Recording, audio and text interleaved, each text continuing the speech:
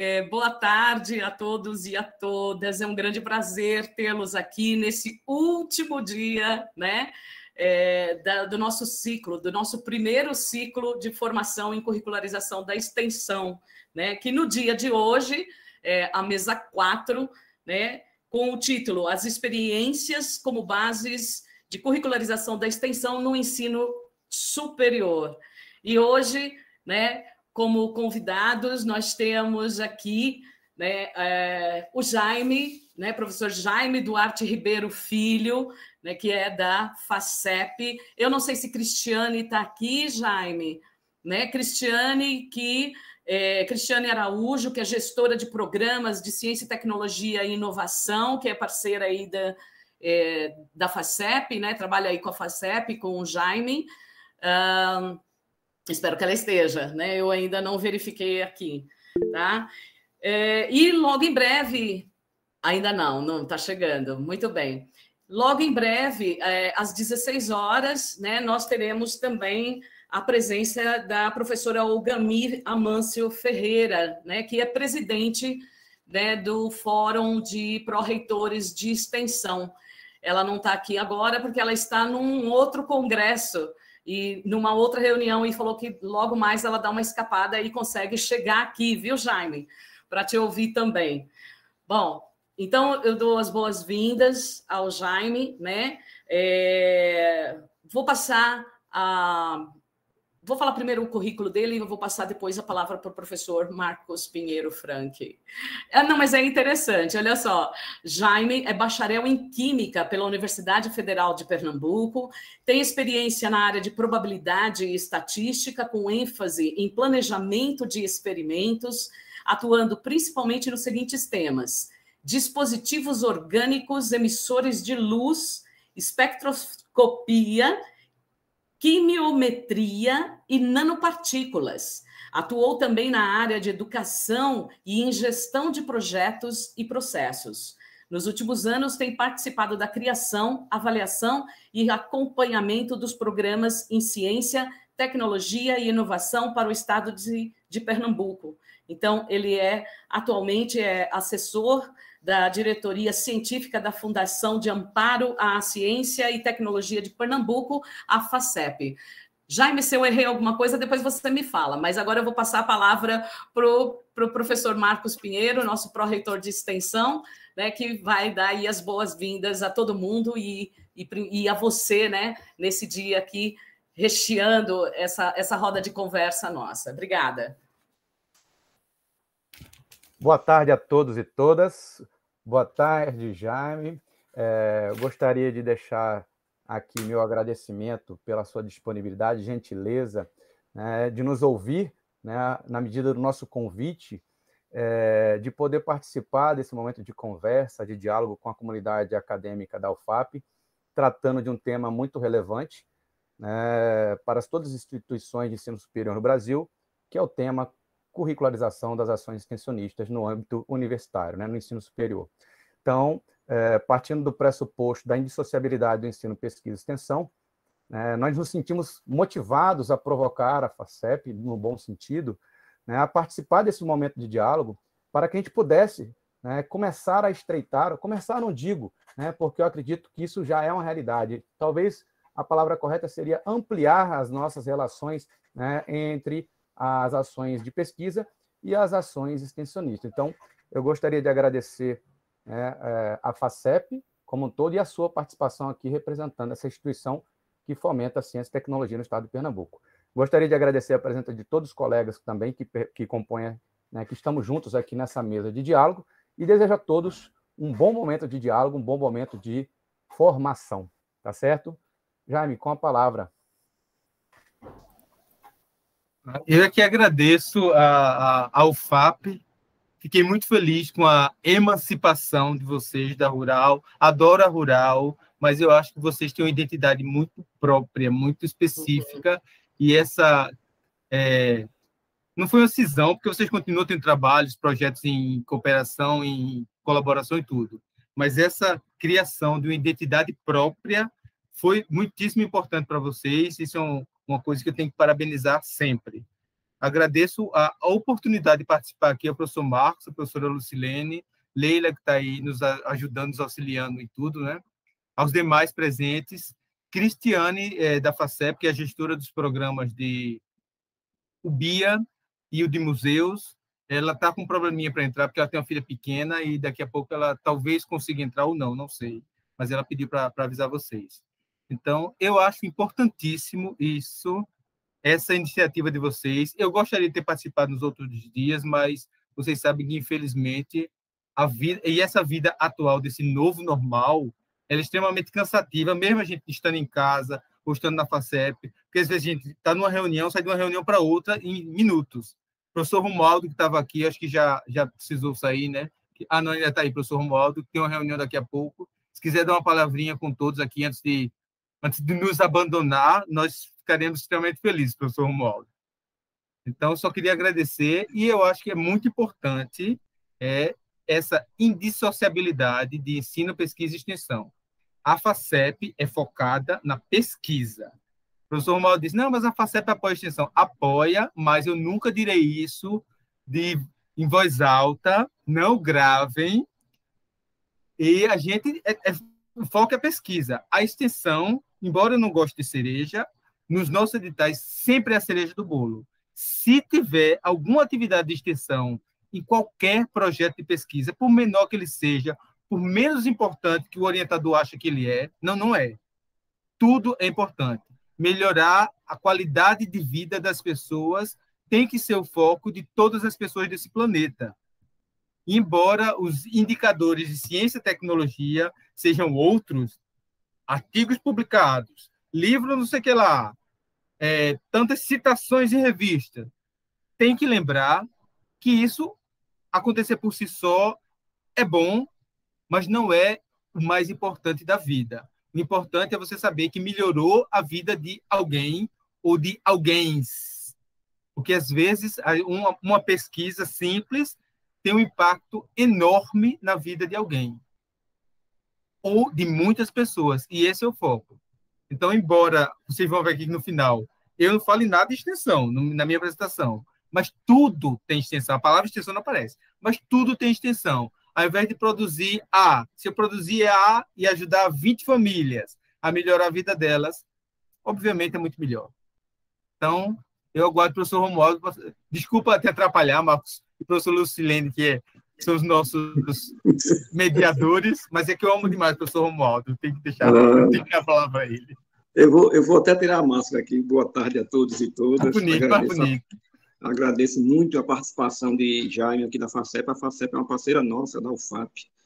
Como o Jaime disse aí, a, a FACEP trata a UFAP muito bem. Acho que é a menor universidade do Brasil, a mais nova, e a FACEP gosta muito da UFAP. A gente foi muito bem recebido na FACEP, professor Jucá, professor é, Jaime, Sandra e todos lá da FACEP, professora Aronita, todos tratam muito bem a UFAP. Então, é agradecer a presença de Jaime, como ele disse, não aparece o nome extensão, né, Jaime, mas já temos programas de extensão tecnológica, onde temos professores aqui da UFAP que aprovaram, temos o de redução da pobreza, apesar de oficialmente a UFAP não ter, não ter aprovado, acredito que não, mas nós e outros professores daqui participamos junto com a UFPE de, de projetos de redução da pobreza, projetos lá no semiárido, aqui no Agreste. Como já me falou, né? o importante é fazer pesquisa, ensino, inovação, extensão, principalmente para quê? Para ajudar as pessoas, que, em última análise, são os nossos patrões, são os nossos chefes, são quem paga os impostos, foi, são quem permite que nós estejamos aqui hoje fazendo isso. Então, essas pessoas precisam ter a retribuição nossa comunidade científica. E nada mais justo do que uma pesquisa ligada com a extensão para melhorar a vida das pessoas. Já não vou falar não, vou deixar você, seja bem-vindo, fique à vontade, a UFAP está de braços abertos para você. Obrigado. Pronto, Lucirene, qual, qual é o próximo passo? Que eu já atrapalhei demais. Não, foi ótimo, foi ótimo. O próximo passo é o que você deseja aí expor para nós, né? quer seja numa apresentação, quer seja numa, num, numa conversa, né? E aqui reforçando você, Jaime, que nós estamos num momento bem é, íntimo com os colegas, né? Com os servidores da, da UFAP, então sinta-se à vontade, tá? Tá, eu vou, eu vou colocar uma apresentação aqui, uma janela. Deixa eu ver daqui, tá? Não estou vendo aqui. Embaixo tem. Ah, tá. Você conseguiu chegar na janela? Consegui, é que eu estou tentando encontrar minha janela de apresentação. Eu vou tentar aqui me é, fazer um refresh aqui da minha tela e ver se eu consigo. Se eu sair, eu volto em pouco tempo, viu? Sim, Aguarde sim, um momentinho. Um momentinho. A, gente, a gente espera.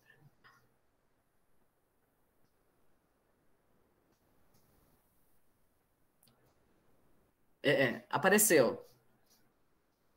Você está com o seu. O microfone está desligado, tá, Jaime?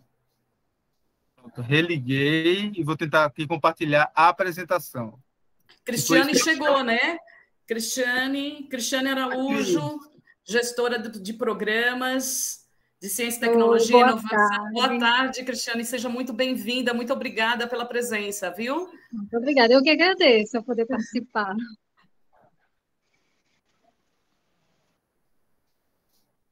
Aí eu acho que ele compartilhou aqui, né? Ah, está compartilhando. Mas ele não está compartilhando a apresentação, está compartilhando essa página, né? É, você consegue colocar no modo no modo apresentação? Será que fica bom? Ele entra aqui. Entrou? Ah, ficou perfeito. Ah, então, voltando a lembrar, eu não falarei em extensão em momento nenhum. Em lugar nenhum aqui tem. Então, vou fazer um resumo do que é a FACEP, apresentar a FACEP apesar de toda a maioria que está aqui presente saber o que é a FACEP, eu acho que é importante essa introdução para que vocês entendam o espírito desde que a FACEP foi criada e o atual espírito em que, em que estamos vivendo. Então, eu sou assessor da diretoria científica, é, eu costumo dizer que sou assessor da FACEP inteira, o que me pedirem eu faço, só não faço se eu não puder. Então, todos podem contar comigo para o que precisarem só não ajudo se for além das minhas capacidades ou se for ilegal. Aí eu também não ajudo, não. A FACEP e o apoio à ciência, tecnologia e inovação em Pernambuco. É, esse é o roteiro do que eu vou falar aqui. Dizer o que é a FACEP, mostrar qual é a estrutura atual dela, quais são as ações orçamentárias, como está dividido o orçamento da FACEP, como é que ocorre o apoio ao desenvolvimento de Pernambuco e qual que, que, é que a gente pensa para o futuro. Por favor, se quiserem me atrapalhar durante a apresentação, não tenho problema nenhum em relação a isso. Sintam-se à vontade, eu não, não me incomodo de parar. Então, o que é a FACEP? É, ela foi criada em 1989 e ela está vinculada atualmente, né, porque a Secretaria de Ciência, Tecnologia e Inovação de Pernambuco, ela tem mudado de nome ao longo dos, dos anos. Ela já incorporou a ciência, a, a Secretaria de Meio Ambiente, ela se chamava SECTMA nesse tempo, passou a uma só ciência e tecnologia, quando era SecTech. Então, a missão da FACEP é promover o desenvolvimento científico e tecnológico do Estado, com fomento à ciência, tecnologia e inovação, mantendo estreita sintonia com o atendimento às suas necessidades socioeconômicas. Socioeconômicas, não falei extensão. A missão exatamente isso aí, para visar é, fomento à pesquisa, processos e produtos inovadores, visando o desenvolvimento do Estado, da comunidade científica, do setor empresarial e da sociedade. Não falei inovação também. A visão é ser reconhecida como a principal instituição de fomento à ciência, tecnologia e inovação do Nordeste, com ações de inovação, interiorização e cooperação internacional valores, responsabilidade social, inovação, comprometimento, cooperação, ética, transparência, qualidade e foco nos resultados. Como é que ela está estruturada atualmente? A FACEP ela possui é, quatro que a gente chama de diretoria executiva da FACEP. Tem a presidência, que é o nosso diretor-presidente atualmente é Fernando Jucá, a diretoria científica, que tem o professor Paulo Cunha, atualmente, a diretoria de inovação, que é a professora Aronita Rosenblatt, e a diretoria de gestão administrativa e financeira, que é Ana Rosa. Então, essa é a diretoria executiva da FACEP. São todos os meus chefes. Para avaliar os projetos, a gente tem que dividir os projetos, sejam eles é, projetos de pesquisa, é, projetos de inovação ou bolsas, a gente divide nas suas respectivas áreas. Então, a FACEP possui seis áreas acadêmicas e uma de uma Câmara para Inovação. Tem tem a Câmara de Ciências Agrárias, Ciências Biológicas, Ciências da Saúde, Ciências Exatas, Ciências Humanas e Sociais Aplicadas, que inclui Linguística, Letras e Artes, Engenharias e a Câmara de Inovação. Então, todos os projetos da FACEP, sejam eles de fluxo contínuo, que é o que a gente antigamente chamava de demanda espontânea, ou projetos de balcão, os que podem ser pedidos em qualquer momento do ano, ou os vinculados a editais, os chamados específicas. Por exemplo, bolsas de pós-graduação, todos são avaliados tipicamente pela Câmara, que tem um mandato acho, de dois anos, cada pesquisador, cada avaliador,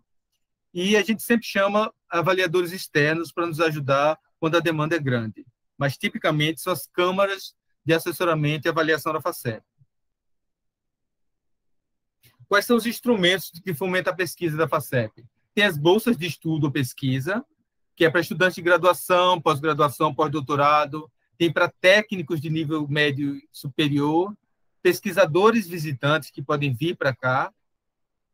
Outra modalidade auxílios financeiros a pesquisadores, para os projetos de pesquisa das instituições de ensino, é, as ICT, os ICTs, laboratórios de aceiros multiusuários, para organizar cursos e reuniões científicas, participação em congressos nacionais e internacionais.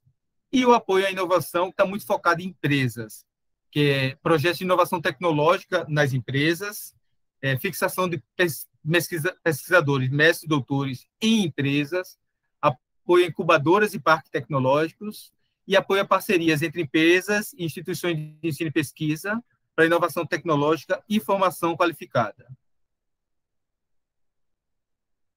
quais são as ações orçamentárias da FACEP. Então, todo o dinheiro que a FACEP recebe é, é dividido entre ações orçamentárias finalísticas e ações para funcionamento da FACEP. Que a FACEP precisa do dinheiro que ela recebe, ela precisa pagar as contas de água, luz, é, os contratos que ela tem com a RNP, entre outras coisas. E as ações finalísticas são essas, são divididas em quatro. A pesquisa sem restrição temática, ou seja, qualquer projeto ou bolsa cuja, é, cujo foco de pesquisa não esteja restrito a uma determinada área, a uma determinada temática, cai nessa, nessa, nessa ação orçamentária. As pesquisas, a pesquisa em temas prioritários, que é exatamente o que envolve alguma parte, é, alguma parte da, do conhecimento, algum foco, entra nesse, nesse, nesse, nessa ação orçamentária a formação de capital humano altamente qualificado, que é onde está a maioria das nossas bolsas, por exemplo, pós-graduação, PIBIC, está tudo aqui. E a ação orçamentária focada para inovação nas empresas. É, essa ação é chamada assim, inovação nas empresas, porque aqui o, o foco é tipicamente subvenção econômica. Porque a inovação, como a extensão, que é a palavra que eu não vou dizer aqui, a inovação ela permeia todas as outras ações. Então, a inovação ocorre na pesquisa em restrição semática, ocorre na pesquisa em tema prioritário para a saúde, por exemplo, Zika vírus, Covid. A inovação ocorre aí e ocorre na formação de capital humano também. Então, embora então, essa, essa ação orçamentária é inovação nas empresas. A diretoria de inovação que nós temos, ela controla, cuida de toda essa ação e de todas as, as intercorrências dela nas outras ações. Então, essas são as nossas ações orçamentárias. Esse ano, é, 2021, o nosso orçamento foi em torno de 70 milhões. Foi muito bom, mas muita coisa ficou sem ser feita. Esse ano estamos brigando para um orçamento um pouco maior, entre 90 e 100 milhões, espero que consigamos. Então, para dar alguns exemplos, pesquisa sem restrição temática, o que é que a gente tem de editais? é, jovens pesquisadores, edital que a gente tinha com parceria com o CNPq. É para jovens pesquisadores em todas as áreas. Atualmente, a gente lançou o edital só com recurso da FACEP para jovens pesquisadores também, é, em todas as áreas, mas apenas com recursos estaduais. Esses esse projeto podem ter extensão? Necessariamente, não. Ele é um projeto de pesquisa. A FACEP apoia projetos de pesquisa.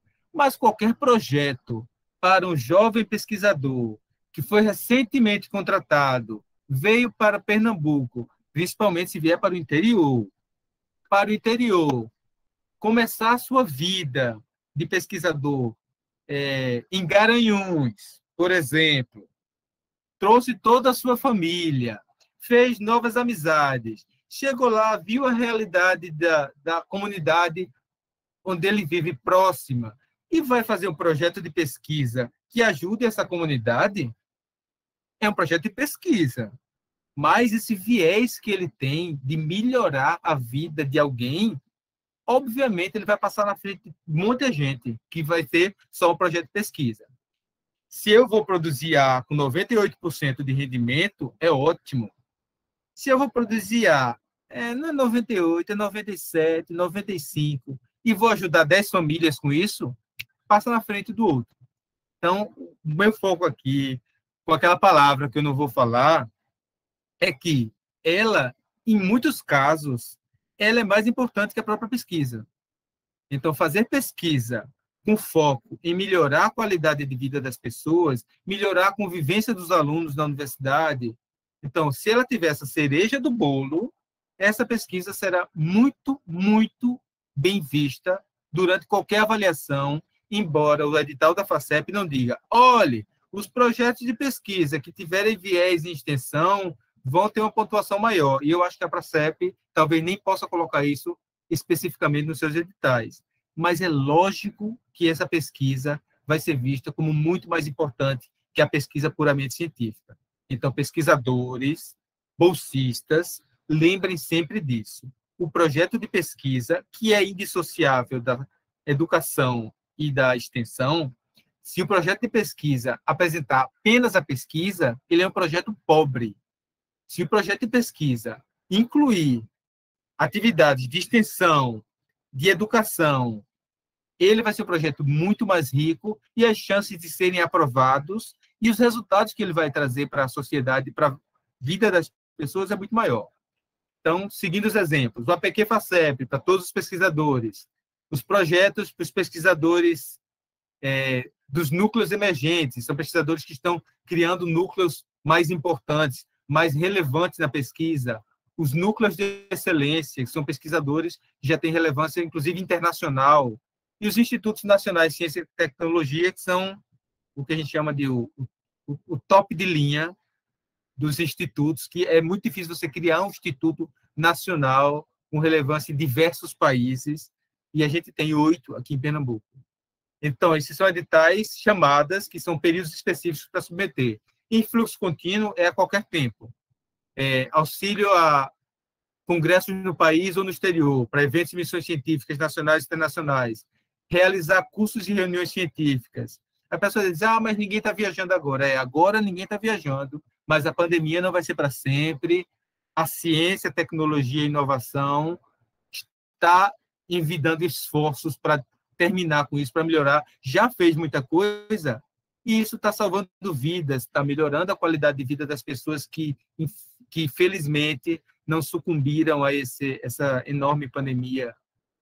É, outra modalidade, para atrair fixar pesquisadores aqui, tem as modalidades de BFP, que é Bolsa de Fixação de Pesquisador, Desenvolvimento Científico e Tecnológico Regional, Programa Nacional de Pós-Graduação, respectivamente esses dois últimos, CNPq e CAPES, e tem outras modalidades, também pesquisador visitante, treinamento pesquisador técnico, entre outros. Em temas prioritários, a gente tem várias modalidades. Pra, tem cooperação nacional, com Fiocruz na área de saúde, com MCP na área de tecnologia. São, são editais específicos para isso. Então, infelizmente, nem todo mundo pode concorrer, porque é um edital temático, mas são editais que focam em temas ou áreas consideradas prioritárias para o Estado. Aqui, pesquisa para o Sistema Único de Saúde, é, a CAPES o programa de desenvolvimento da pós-graduação, que foram lançados dois editais. O primeiro, parcerias estratégicas dos estados, que para esse edital, o estado é, teve, tinha que definir quais eram os temas importantes para o apoio da pós-graduação. E esses temas foram definidos pelas secretarias do Estado.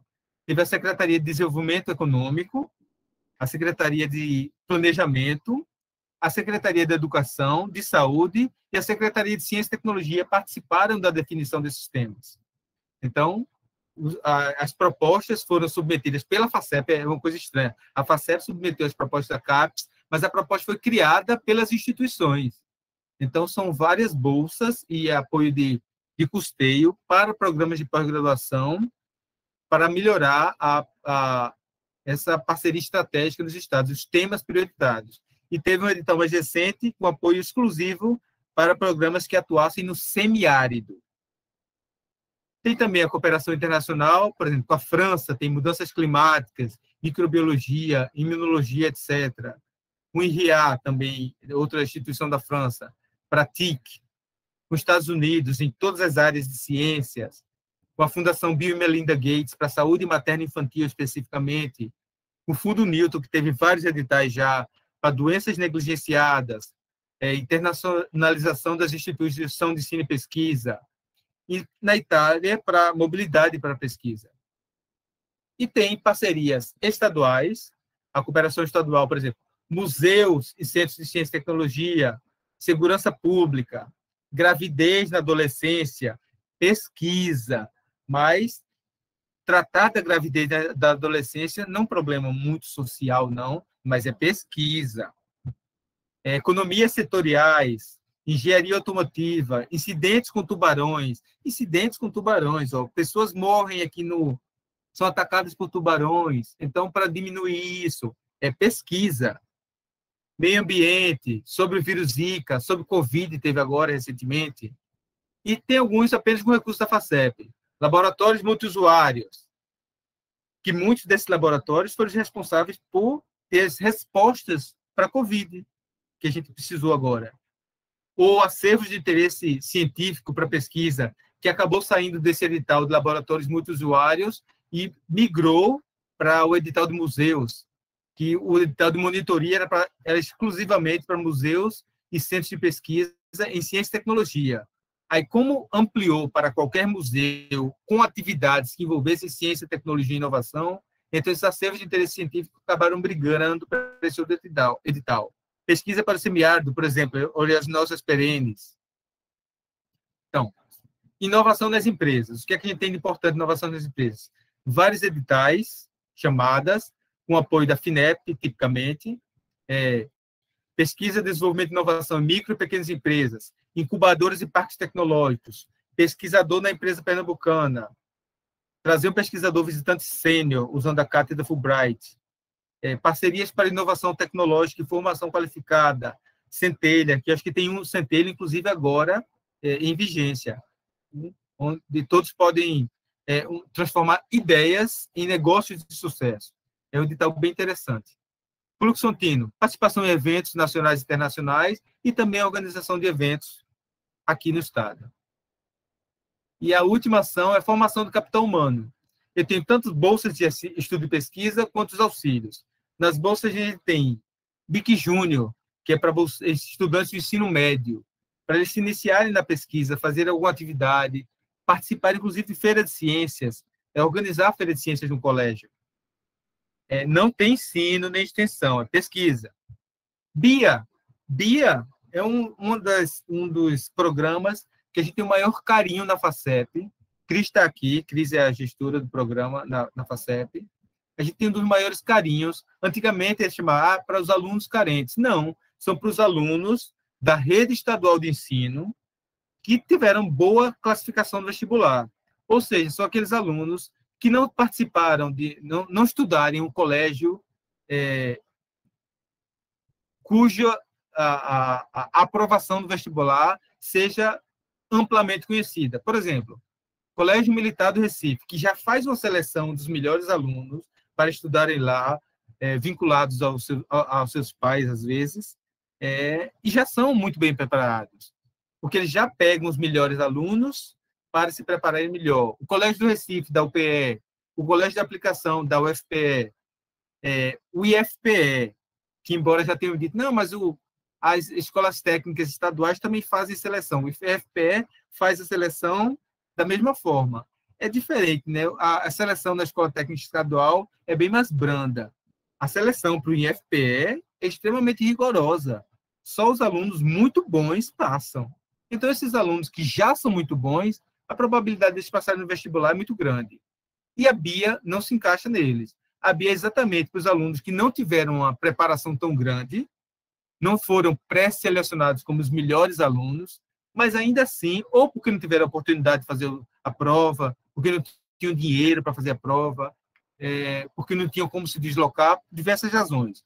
Mas eles são alunos oriundos da rede estadual de ensino que tiveram boas classificações de vestibular. Às vezes, esse aluno lá ele continua com as dificuldades na universidade. É um ambiente totalmente novo, diferente do ensino médio. Ele, infelizmente, às vezes, a condição financeira da família não é tão boa. Então, a evasão desses alunos é muito grande. Então, embora a FACEP não apoie a extensão, esse programa é claramente isso. Ele faz com que os alunos desenvolvam atividades científicas no primeiro ano de sua graduação, impedindo que se evadam da universidade. Então, garante que os alunos continuam lá, dá a eles a chance de melhorar de vida. Não é extensão, porque ele tem foco, ele tem que fazer atividade de pesquisa. Muitos alunos BIA têm trabalhos de pesquisa, inclusive melhores do que alguns alunos do BIC, que é um projeto claramente para pesquisa. Então, tem o nosso edital de bolsas BIC e nosso edital de bolsas de pós-graduação, que é a maior quantidade de recursos da FACEP. Atualmente, com esses enormes problemas do governo federal, corte de bolsas da CAPES, entre outras coisas, a FACEP sabe, é, tem orgulho e fica triste de ter que admitir isso, porque era bom que não fosse assim, mas a FACEP sustentou os programas de pós-graduação do Estado nessa crise enorme. A FACEP fica feliz, fica orgulhosa de ter sido ela, mas ela gostaria que não fosse necessário. É, é, essa é a grande verdade. Eu gostaria que o apoio do governo federal continuasse sendo irrestrito. Infelizmente não foi, e por sorte nós temos a FACEP, que pôde é, ajudar nesse momento ruim. Os auxílios. Ampliação da infraestrutura laboratorial da pós-graduação, tivemos editais específicos para isso. Mobilidade discente, o discente aqui, vai fazer uma pesquisa, parte da pesquisa dele em outro estado ou, inclusive, em outro país. Internacionalização dos programas de pós-graduação, fortalecimento dos programas TEIs, mais alguns exemplos. Professor Marcos e Lucilene, por favor, se eu estiver muito adiantado no tempo, podem me cortar. Como é que a FACEP faz apoio ao desenvolvimento de Pernambuco? É, a gente definiu a gente não significa eu, né? Foi um estudo feito em colaboração com a CEPLAC, qual eram as prioridades, porque a FACEP tem muitas coisas. Então, ela precisava de cinco prioridades. Então, programas de pós-graduação foi uma delas, disparada a mais importante, em virtude da quantidade de recursos e da necessidade atual. Atração de pesquisadores, atração e fixação de pesquisadores para cá, para melhorar a pesquisa apoio à cooperação internacional, apoio à inovação nas empresas e interiorização da pesquisa. Então, esses são os cinco focos atuais, as cinco prioridades atuais da FACEP, que envolve, todas elas envolvem extensão. Então, especificamente para a interiorização, quais são as estratégias que a gente tem? Que é, interiorização é uma coisa muito importante para a gente. Então, em alguns casos, a gente tem uma reserva percentual, IBIC, para graduação, por exemplo. É, outros casos, a gente tem pontuação adicional. Em outros casos, a gente tem uma modalidade específica para o interior. E sempre, sempre é, é critério de desempate. Se eu tenho dois projetos, por exemplo, ah, no final ficaram com a mesma nota. A primeira pergunta é: qual é o do interior? Ah, é o projeto B, então é o B que está aprovado. Então, sempre é assim, sempre será assim com interiorização. E com extensão funciona de uma maneira parecida. Por que, a interiorização é tão importante para a FACEP? porque a gente vê que as instituições da FACEP, embora a gente saiba que a região metropolitana tem muita, muita coisa, muita pesquisa, muitos pesquisadores, muitos grupos, muitas instituições, o interior também tem. A gente viu recentemente um grande crescimento em Petrolina, na área do Sertão de São Francisco, mas a gente sabe que Pernambuco tem muita coisa no meio, tem as autarquias, tem uh, os campi ou é, as instituições, é, os campi avançados, tem a UFAP, que era um campus da, da, UFP, da UFRPE e agora é uma instituição é, única, separada e importante, e precisa crescer, precisa, quem sabe, a UFAP não toma, sei lá, o Agreste Central, uma parte do Mochotó, daqui a pouco. É nisso que é, é isso que a gente aposta. Então isso aqui é um resumo do que a FACEP faz até agora. É, o futuro. O futuro é tem muitas necessidades ainda. A FACEP em si, o Estado, a ciência, tecnologia e inovação, as instituições para apoiarem a sua pesquisa, a sua seu ensino, a educação no ensino e a extensão. Então, a FACEP precisa se fortalecer. A gente recentemente lançou um novo ágil, é, tem que consolidar os nossos programas de, de apoio à ciência e tecnologia, com índices, aumenta a destinação da receita. Acho que a gente está tá tentando passar meio por cento para 1%, talvez não consiga, talvez consiga 0,7%, quem sabe. Focar em pesquisa temática, com, com parcerias. O professor Marco tinha falado antes de é, apoiar a extensão através de edital conjunto com a Secretaria lá, de Cultura ou com a Secretaria de Educação, continuar apoiando inovações nas empresas e apoiar a internacionalização, porque, inclusive, tendo, é, tendo é, um braço é, em outro país, é mais fácil, infelizmente, conseguir recursos. Às vezes é difícil conseguir recursos aqui no Brasil, é, vindo do governo estadual, do governo federal, o que tiverem, a gente dá. A FACEP dá o que puder, ela faz. Mas, às vezes, infelizmente, é mais fácil conseguir algum apoio internacional do que nacional. Bem, eu acho que eu me fiz um grande resumo, um grande apanhado de tudo que eu queria dizer. Não falei em extensão em momento nenhum, quero lembrar isso. Agradecer pela atenção. Estou à disposição para o que precisarem de mim. E para recentemente nós vamos ter nossa nossa conversa aqui, né? Ninguém me atrapalhou, essa é uma uma plateia muito quietinha, era para todo mundo ter me atrapalhado, porque agora quando vocês falarem de alguma coisa, eu vou ter que lembrar qual era o slide e voltar lá eventualmente. Muito grato mais uma vez pela chance de participar. Eita, agora eu vi que entrou um monte de gente. Bem-vindos todos. Estou aqui sempre à disposição. Eu espero que não tenha sido muito exaustivo e não tenha fugido muito do tema, mas eu disse que eu não poderia falar na palavra, porque a FACEP apoia a pesquisa. Pronto, passa a palavra a Lucilene. A Lucilene está com problema no, no áudio. O microfone dela já me resolveu deixar ela bem caladinha. Mas tem um chat, viu, Lu, também. Tem um chat e todos aqui poderiam ter aprendido Libras, que dava é, para se comunicar. É, exatamente. Mas a gente vai dar seguimento, né? Porque nós não podemos perder esse momento né, de conversa com o Jaime. Olha, a Lucilene tinha dito que a gente está no momento mais íntimo, né? É, e realmente a ideia é a gente conversar sobre as possibilidades. E, na verdade, a gente já estava até começando, desde o começo que Jaime entrou, a gente já estava é, conversando sobre essa não extensão, né? ninguém está falando de extensão, mas nas possibilidades. É, mas claro que é, eu passo a bola aí para o Marcos Frank, para ele fazer a sua fala, e também os colegas que quiserem podem se colocar, perguntar, né? O momento é nosso. Só não me coloque em contraparede, por favor. Bom, em primeiro lugar, gostaria de agradecer. Não, imagina. Nós vamos provocar só. Veja, é, em primeiro lugar, já, em segundo lugar, né, porque eu já agradeci lá no início, né, gostaria de reiterar minha, minha gratidão, esse momento de diálogo é, junto à nossa comunidade. tenho certeza que todos aqui na sala é, puderam conhecer um pouco mais é, da, da FACEP, é, esse órgão tão importante que financia pesquisa, ciência, tecnologia e inovação, né? mas é, eu lembro, né, a primeira vez quando eu mandei e-mail para a FACEP, se me permita né, entrar nesse mérito, né, eu fui questionar, poxa, mas a FACEP não não está envolvida com a extensão, não pode fomentar a extensão.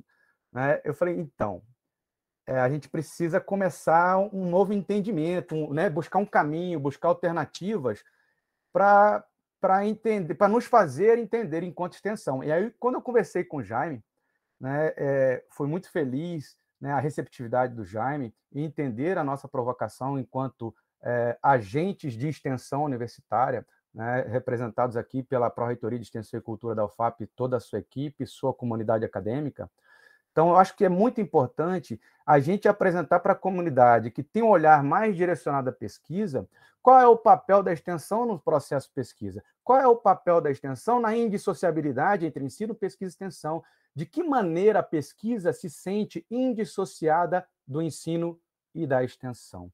Né? Então, é, foi muito esclarecedor, eu acredito que, é, e motivador, entendeu, Jaime?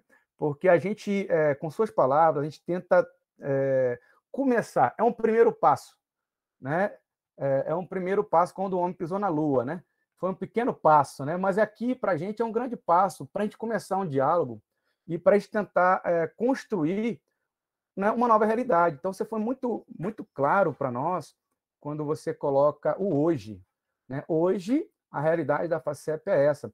Então assim, a partir da, da, do diálogo com a ciência, tecnologia e inovação, a partir do diálogo com a educação, a partir do diálogo com a cultura, eu acho que a gente vai conseguindo consolidar a extensão em todos os seus eixos. Aí, do, do ponto de vista do ambiente universitário, é, é, tornar pleno a indissociabilidade.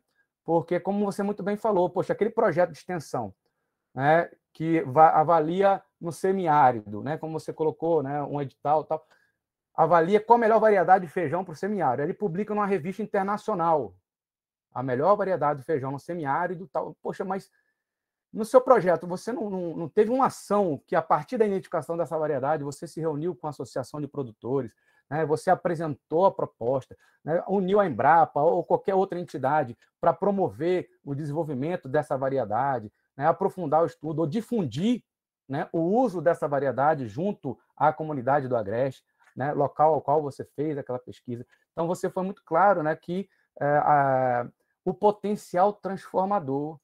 Qual o potencial transformador da pesquisa? Qual é o potencial? Qual foi o impacto social da pesquisa? Então, é, eu vejo que hoje a gente não tem um nome de extensão claro e evidente na pesquisa. Aí eu notei até que interessante, né? A gente passa para pensar, poxa, existe uma secretaria de educação no estado, existe uma secretaria de educação no município, né? Existe uma secretaria de cultura no estado, existe uma secretaria de cultura né, no município, não, né? teoricamente em todos. Existe um, uma secretaria de ciência, tecnologia e inovação, mas quem está dando o olhar disso tudo aí para a extensão? Né? É lógico que a gente, você foi muito claro, está implícito. Está implícito.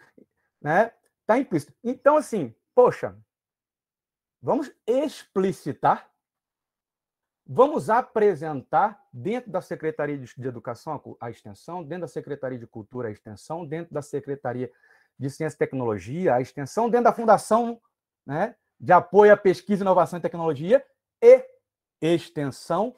Né? Então, hoje a gente tem uma realidade é, que a gente está vivenciando no, no ambiente universitário de transformação né, da universidade. Não é a curricularização em si, é a transformação de todo o papel, né? é, é o entendimento, é um novo papel epistemológico da universidade dentro de um ambiente que ela está colocada, como sociedade, porque muita gente fala né? a, extensão tem que atuar né, na sociedade. Lógico, a, a universidade faz parte da, universidade, da, da sociedade, ela está inserida em uma sociedade, como você muito bem colocou, a gente tem aqui né, uma região a gente tem um papel muito importante para promover a transformação através da pesquisa, através da extensão, através da educação. Né?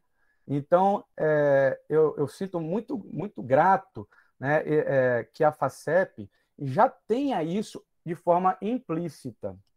né, na seleção de ações, no entendimento do seu papel social, no desenvolvimento social, né, e no impacto, avaliando nos projetos qual é o impacto social dessa ação de pesquisa na sua seleção de projetos. Então, aqui eu deixo a provocação, né, é, não só para a FACEP, mas para, para que todas né, os âmbitos governamentais, não né, eixos governamentais e não governamentais, que é, trabalhem de forma indissociada conosco, né, conosco extensão, seja na arte, na cultura, seja na educação, seja na ciência e tecnologia, seja dentro da instituição de ensino superior no Brasil, né, é, cujo artigo 207 da Constituição Federal né, já estabelece a indissociabilidade entre ensino, pesquisa e extensão.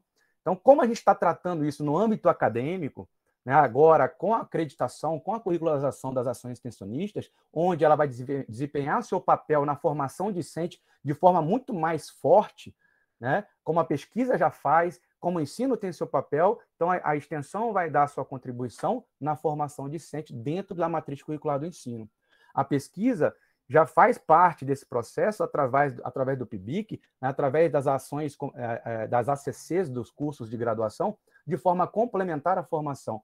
Né? Mas de como que a pesquisa está atrelada, de como é que está esse vínculo da pesquisa com a extensão propriamente dita. Então, é essa motivação, é esse olhar que a gente quer começar a desenvolver né, e mostrar para os nossos pesquisadores que muitos né, se veem como é, com alguma dificuldade de realizar ação extensionista, a gente tentar desmistificar isso, de que a ação extensionista dentro de um projeto de pesquisa ele se torna essencial para que se tenha né, o pleno impacto social da sua própria pesquisa, e não puramente né, a questão quantitativa e qualitativa da sua produção científica né, que muitas das vezes a gente faz um evento de ciência né, no, no, âmbito universitário, né, os congressos de iniciação científica, e às vezes esses eventos ficam restritos à comunidade acadêmica, né, para finalização, para cumprimento de uma, de uma estratégia, de uma regra, de uma, de uma, de uma, obrigação, de uma imposição, né, mas que a gente consiga articular. Poxa, a gente está fazendo um evento de, de, de, iniciação científica, vamos articular com o ensino básico, vamos trazer o pessoal do ensino básico, buscar estratégias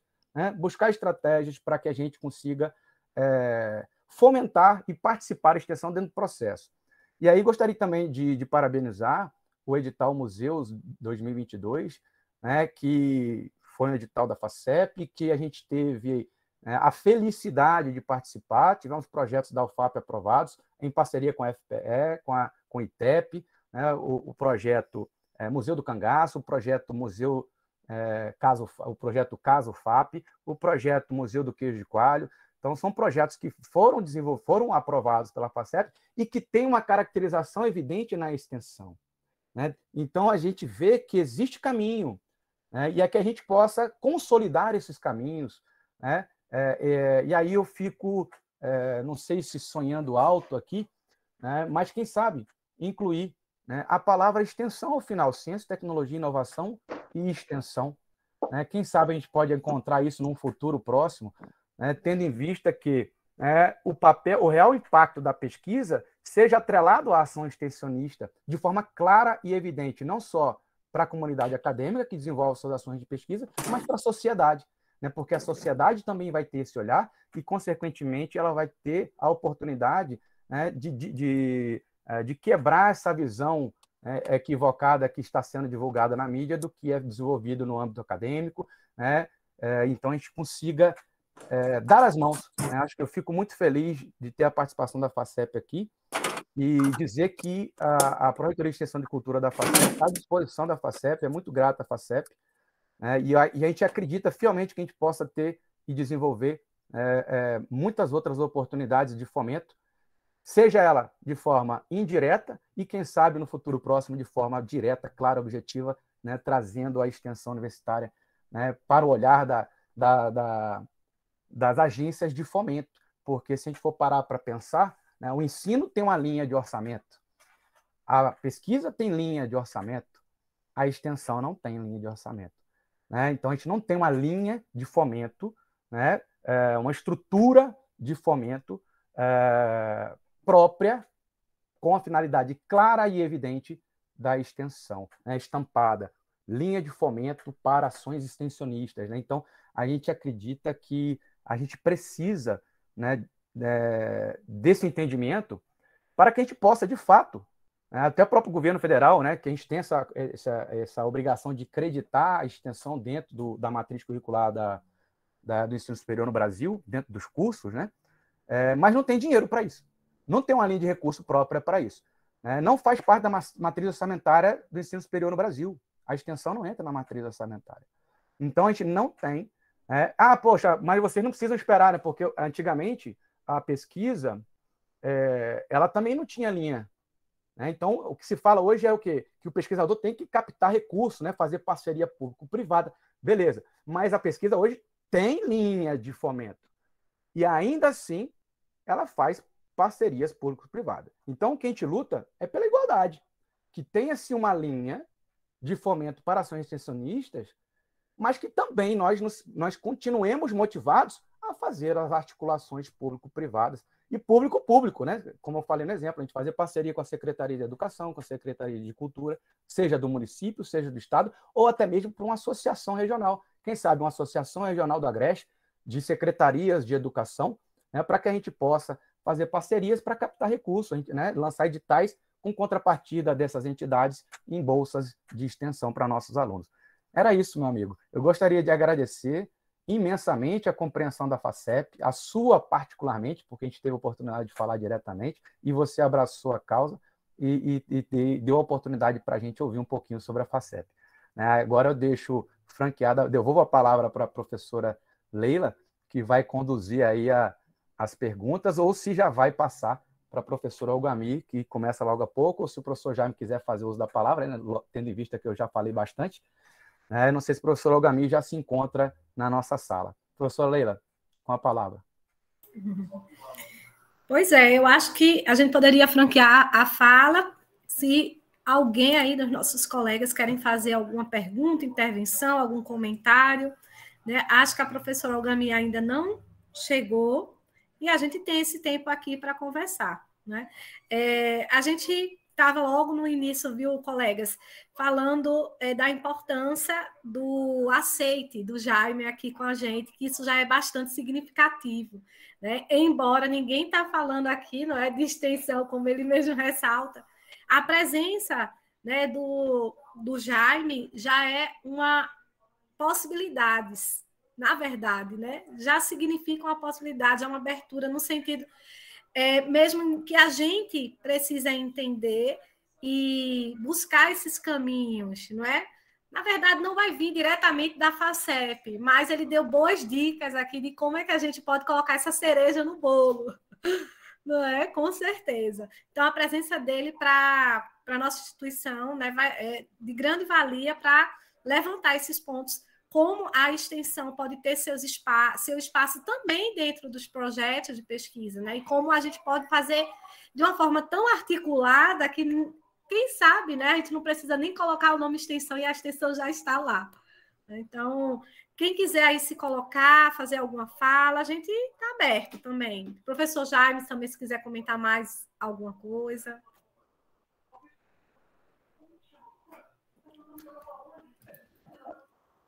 É, eu queria. Cris está aqui, ela é a gestora atual dos programas BIA e o de museus. Não sei se ela quer falar alguma coisa, se ela está com, com Cecília, que é a filhinha dela, dando problema. Às vezes Cecília está do lado dela, quer, quer falar mais que ela. É verdade. Oi. Boa tarde a todos novamente. É, parabéns, Jaime. E eu só queria dizer também, reforçar quando o Jaime tocou no, falou no programa Bia, eu só queria dizer que é, aquece meu coração, porque eu tenho muito carinho por esse programa, muito orgulho mesmo, é muito importante. Só isso. É, gosto, em relação ao programa Bia, a, a UFAP, né, ela, de quatro bolsas, ela pulou para 20 bolsas. Era para ter pulado para 80, devia ter pedido bem é, mais e ter mais. mais né? Nós conseguimos aí um crescimento muito é. grande. Parabéns é. à FACEP, né? parabéns, parabéns ao FAP. E foi é, muito elogiado o projeto de vocês, eu posso falar isso, porque eu estive na, é, acompanhando né, a, a, comissão de julgamento, foi um projeto elogiado, e isso é visto, esse acréscimo de bolsas, e é, é como uma forma de é um reconhecimento em forma de cotas de bolsa, né? Então a gente espera que está crescendo, né? Só dois anos, esse é o segundo, segundo, não, terceiro ano agora, né? Que a UFAP submete ao edital do programa BIA. E a tendência é essa, né? Aumentar as solicitações, a demanda também dos alunos.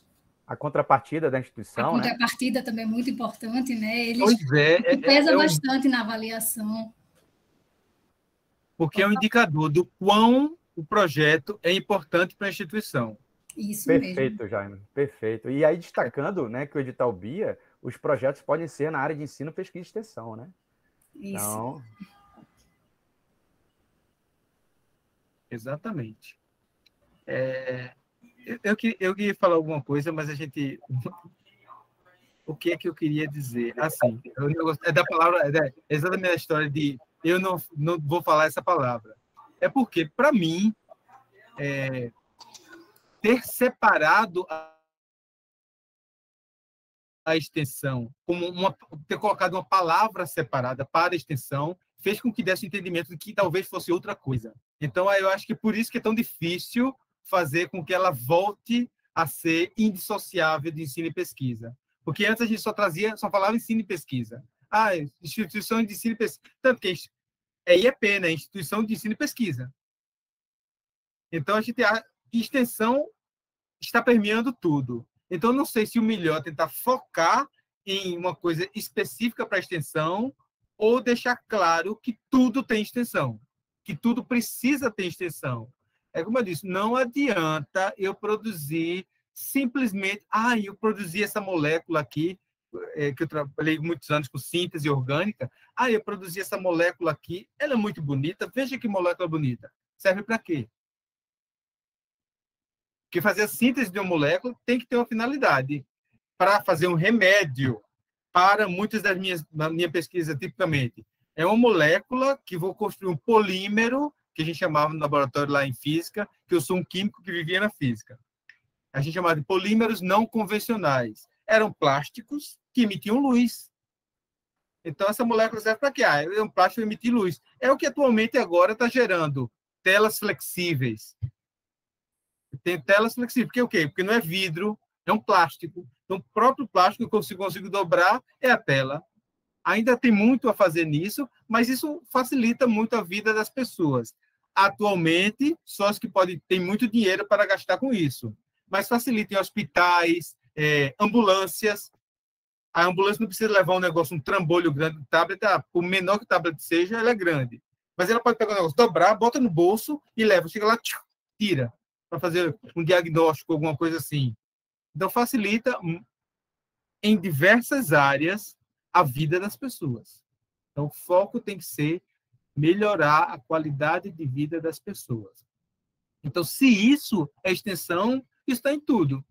Então, não sei se a melhor estratégia é, separar ainda mais a extensão ou fazer com que ela seja aceita em tudo de uma vez. Não sei. Não sei, mas vamos discutindo. Vamos discutindo. Exatamente. Eu acho que seria a segunda opção. Eu acho que a segunda opção seria mais interessante, porque, vamos supor, do ponto de vista é, governamental, da estrutura de governo, né? Então, se a gente tem uma Secretaria de Educação, ela vai ter né, um olhar voltado para a extensão. É a política nacional de educação envolve as ações extensionistas, né? A cultura, você tem uma secretaria de cultura, né? Então ela teria também um viés extensionista, um fomento particular. Então é nesse sentido que a gente está se motivando, está se, se iniciando um movimento de articular com toda a estrutura governamental para que a gente consiga inserir a extensão dentro de todos os eixos, né? para ver se a gente ocupa o espaço, não criar um espaço próprio, mas ocupar os espaços. É feito água, a extensão é feito água. Ou feito gato, que cabe em qualquer lugar, né? Gato cabe em qualquer caixa, eu nunca vi. Se bota uma caixa assim, o gato ocupa a caixa inteira. É gato e água. Cabe em qualquer lugar. Exatamente. Então, é, acho, a Lu, não sei se ela está conseguindo escutar, mas ainda não está com áudio, tá? Consegui. Oh, Tive que reiniciar o computador Aí até achar as coisas aqui no computador da minha filha, mas consegui. É, o áudio e o vídeo. Pronto. É, é interessante. É... Pode falar, Lu, pode entrar aqui na conversa. A gente está estamos falando justamente sobre esse espaço, essa busca né, pelo espaço da extensão.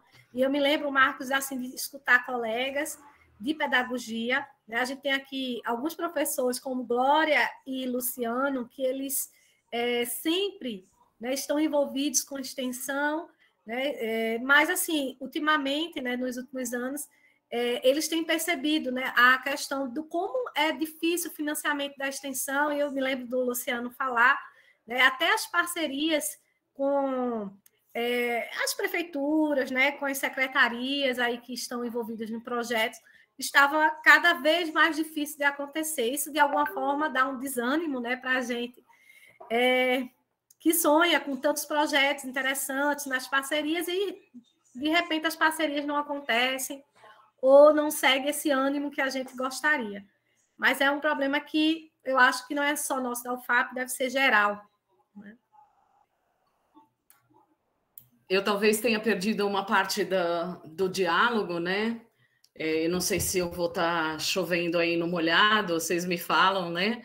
Mas antes de a gente começar aqui, eu estava conversando com, com o Jaime é, e estava falando da, da Fundação de Amparo de São Paulo. E, obviamente que é, o financiamento, né, as verbas são é, muito maiores, né, Jaime? E, e, lá eles têm, um, eles têm um, o que se chama de CEPIDES, né, que são os Centros de Pesquisa, Inovação e Difusão. E, e, e eu, eu, tive a curiosidade de dar uma olhada no, no edital, né, em, um dos editais, e é um, um edital que corre anos, ele fica assim, cinco, seis anos é, correndo, porque eles, eles, eles fomentam um centro de pesquisa. Né? E aí esse centro de pesquisa desenvolve também a inovação, né? E a difusão científica. E mas o foco é pesquisa, né? Mas sempre é, preocupados, né? Sempre é, atrelados a essa coisa da difusão científica, da formação de, de estudantes de ensino médio para para serem pesquisadores, né, já para começar a trilhar o caminho da pesquisa, né, e bastante interessante, mas também é, realmente o fomento é, é, é, bastante grande, a exigência, né, é, dos pesquisadores, né, é, é, é, bem, é bem, bem pesado mesmo, né, eles têm uma exigência bastante forte, né, fomenta aí também a vinda de pesquisadores de, de fora, de fora do, do país, né? Mas o que eu achei interessante é essa coisa da difusão científica, né? De, e da difusão científica atrelada à divulgação científica, né, utilizando é, meios de, de rádio de difusão, utilizando meios de, de internet, né, como, como as redes sociais, né, e inclusive formando pesquisadores para isso né? É, existem cursos, né, e que formam pesquisadores para desenvolver essa habilidade, né, na parte de, de divulgação da ciência.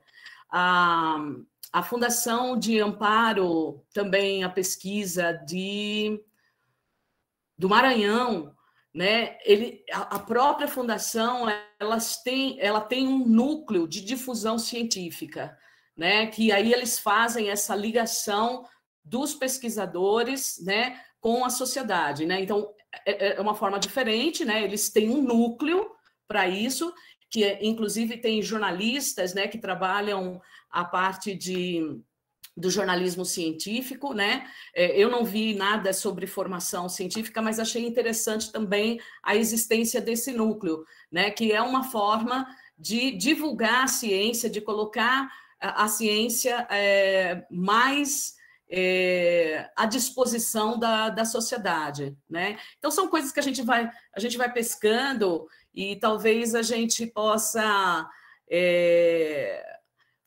sei lá, né? Não sei se vocês falaram assim, um edital, se tivesse uma linha, né? Um, um pequeno parágrafo que dissesse sobre, é, sobre difusão científica, de divulgação científica, né?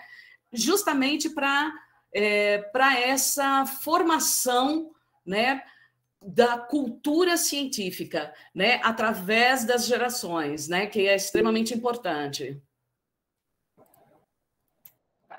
Brigarei por isso. Eu ainda vou, eu ainda vou um pouquinho mais além, eu vou provocar mais. Eu acho que o meu papel aqui é esse. Acho que eu vou provocar um pouquinho mais. Uh, somado ao que a professora Lucilene, né, que é a nossa diretora de difusão da PREC, é, é, eu diria assim, é, com missão a FACEP, né, como você apresentou, Jaime, é, ela tem é, uma missão de desenvolvimento, né, desenvolvimento social. E esse desenvolvimento social ele pode ser avaliado através de suas ações, é, do ponto de vista do impacto social das suas ações.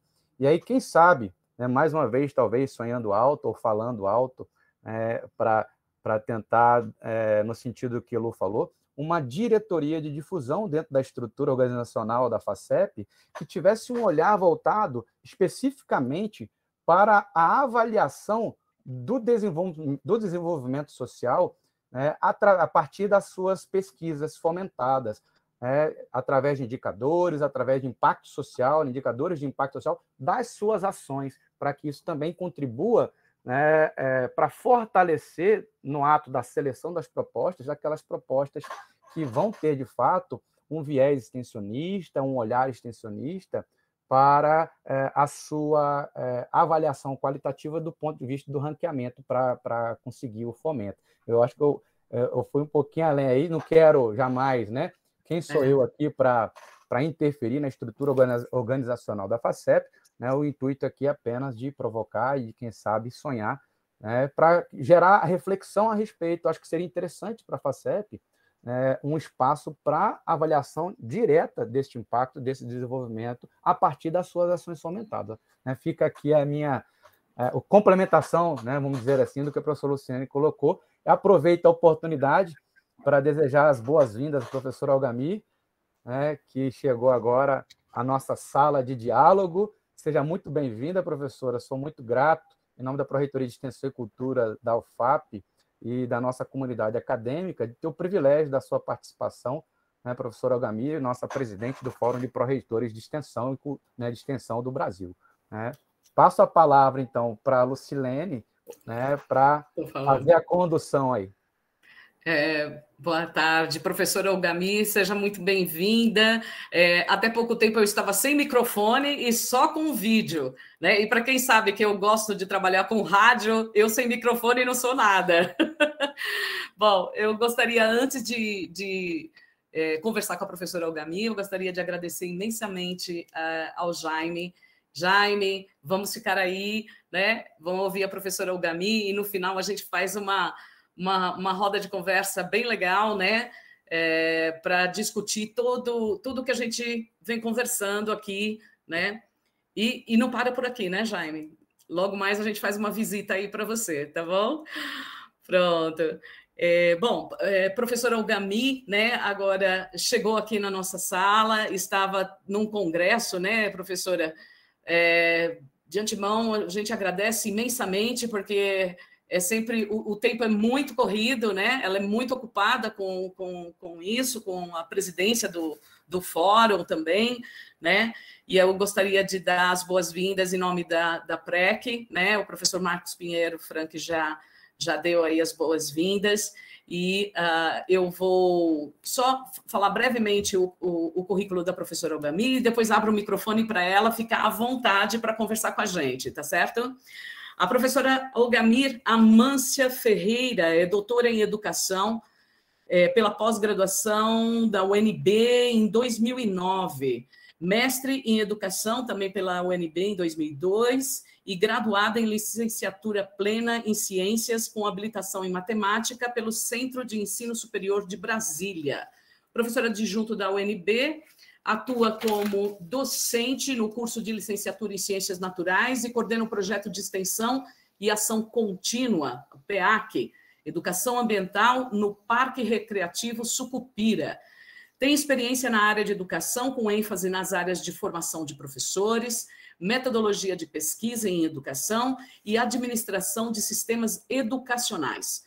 gestora pública na área de políticas para mulheres, atua também com os temas de gênero e sexualidade associados à educação. Na área de gestão acadêmica, atuou como coordenadora da área de educação e linguagens na FUP, na UNB, e como titular do conselho de curso e do colegiado também da FUP na UNB. Atualmente é membro do Conselho Superior do IFB de atualmente de, ela foi de 2016 a 2020, né? Membro da gestão superior da UNB também de 2016 a 2020, como decana de extensão.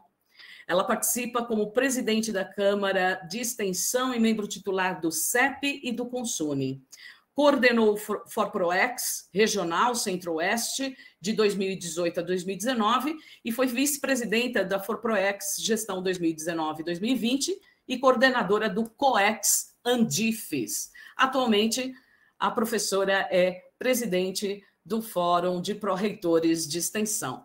Professora, novamente, muito bem-vinda. Pode abrir micro, o microfone e sinta-se à vontade Obrigada, Lucilene. É um prazer estar aqui com vocês. Eu peço desculpas pelo atraso, mas de fato eu estava numa reunião no Conselho Estadual de Educação de Minas Gerais, que havia me convidado. Começou às 14, mas começou um bom debate com os conselheiros. Eu penso que é uma boa notícia, inclusive, para a gente aqui, porque o Conselho é, pediu esse diálogo com o Fórum para fazer todo uma, um, um encaminhamento no sentido de produção de legislação local, olhando a realidade do território, para validar ainda mais a nossa resolução nacional né, da extensão universitária. Então, eu penso que isso para nós é muito importante, que a iniciativa localizada ali em Minas Gerais, como a gente tem, me parece que mais um ou dois estados brasileiros, mas que pode, né, pode, no caso específico, e deve ser seguida por outras, outro, outras unidades da federação.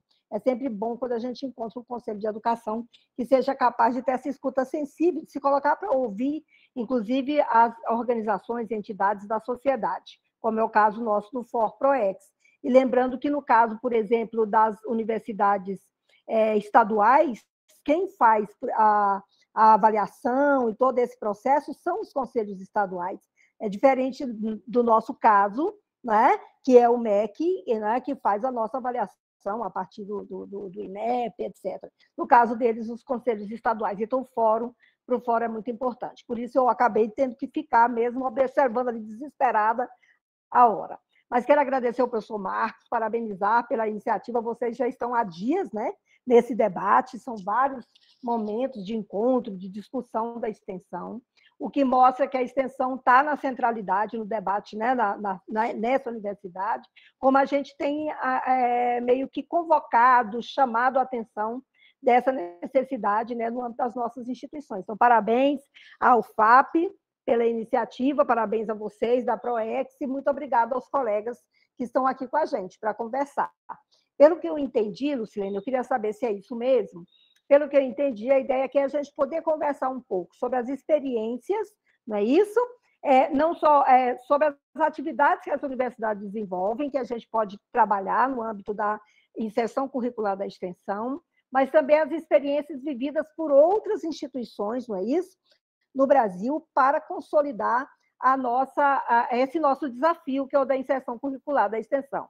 É isso mesmo, né? Tô Exatamente, certa? é essa ah, então linha tá mesmo, professora. Obrigada. tá certo, então. Então, é, olha só, eu penso que, que primeiro, eu, eu, eu acho que nós temos um documento hoje, eu entendo que a gente tem um documento hoje do ForProex, que a Lucilene, o professor Barcos, né, nos ajudaram a consolidar, que trata das orientações acerca de como proceder esse processo. E nesse documento, a gente busca resgatar elementos que têm a ver exatamente com essa experiência acumulada pelas nossas instituições. Nós estamos vivendo um momento que ele é ímpar do ponto de vista da história da educação superior brasileira, não é só das universidades, mas é a educação superior brasileira. Lembrando que quando a gente fala de educação superior brasileira, nós estamos falando de educação pública, mas também de educação privada, o ensino né, oferecido pelas instituições privadas, mas nós, mesmo no âmbito público, nós estamos falando de um conjunto de universidades que se diferenciam muito umas das outras, né? Pela, seja pelo tamanho né, desse país e que faz com que a gente tenha universidades, é, é, hoje uma realidade de universidades em diferentes localidades, como o caso, o caso da, da UFAP, né, assim, em diferentes localidades do país, seja pela própria característica, pelo tempo de existência. Então, nós temos universidades com mais de 100 anos, mas nós temos universidades que é, super novinhas, né, que chegaram a pouco tempo. Então, tudo isso vai construindo um caldo é, muito complexo para a implementação desse processo da inserção curricular da extensão. Então, isso não tem sido uma tarefa simples, é uma tarefa é, é, desafiadora, vamos dizer assim. Então, pela complexidade das nossas instituições. Por isso, no nosso documento, a gente diz assim: não há um modelo a seguir, tá? Porque se tivesse um modelo, seria muito mais fácil, né? Você faz o modelo e todo mundo vai ali aplicando. Ora, como nossas instituições têm experiências, vivências distintas né, de atividades de extensão, umas têm uma identidade maior com a extensão, algumas já nascem com a cara da extensão, porque nascem, por exemplo, numa região mais do interior do país, né? Então, assim, ou, ou numa área muito vinculada a demandas sociais muito fortes de comunidades ali muito próximas. Então, são realidades que as distinguem, e isso precisa ser considerado. Então, a gente diz, não tem um modelo. Então, não é tarefa simples. Tá?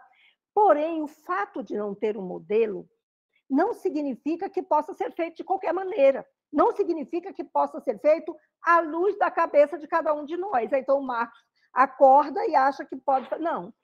Existem referenciais muito claros do ponto de vista da legislação, do ponto de vista da concepção de extensão. Resgatando aqui muito rapidamente, nós não podemos perder de vista que a extensão que nós esposamos, né, a concepção de extensão que nós esposamos, é a concepção dialógica, é aquela que entende a extensão como dimensão de formação acadêmica. Nós superamos já há bastante tempo a concepção da extensão como mera prestação de serviços, ainda que a gente possa fazer a prestação de serviços, desde que esteja imbuída dessa dimensão formativa.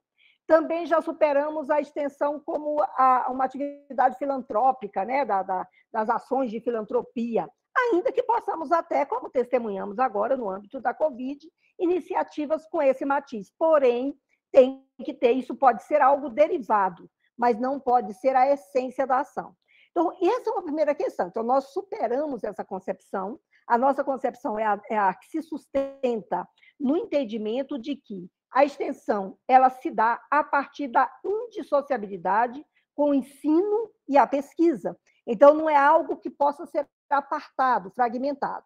Isso nos coloca num desafio que é fazer com que se incorpore dentro das nossas instituições esse entendimento.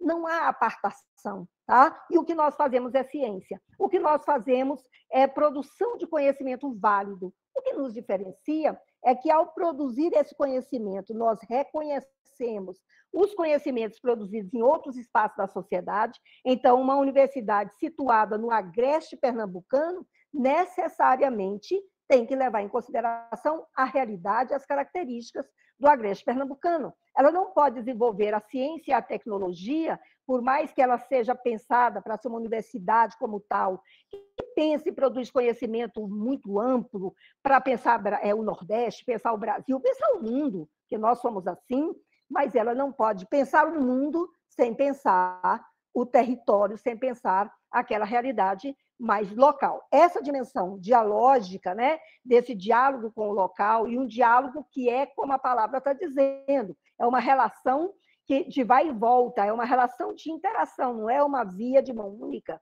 Né? Precisa ser considerado, que é o diálogo da universidade com a sociedade, não para a sociedade, onde nós vamos aprender muito na convivência, os nossos alunos também, na convivência com a comunidade ali local. Né? Então, essa concepção ela tem uma base de sustentação, ela tem toda uma epistemologia, né, que está ali claramente definido nas diretrizes da extensão, que trata da interdisciplinaridade, que trata do, do, protagonismo estudantil, né, que tem que ter impacto na vida do estudante, que trata de uma formação e de uma ciência desenvolvida para tornar as pessoas mais humanas e vinculadas às necessidades da sua sociedade e que não, como eu disse, indissociável do ensino e da pesquisa.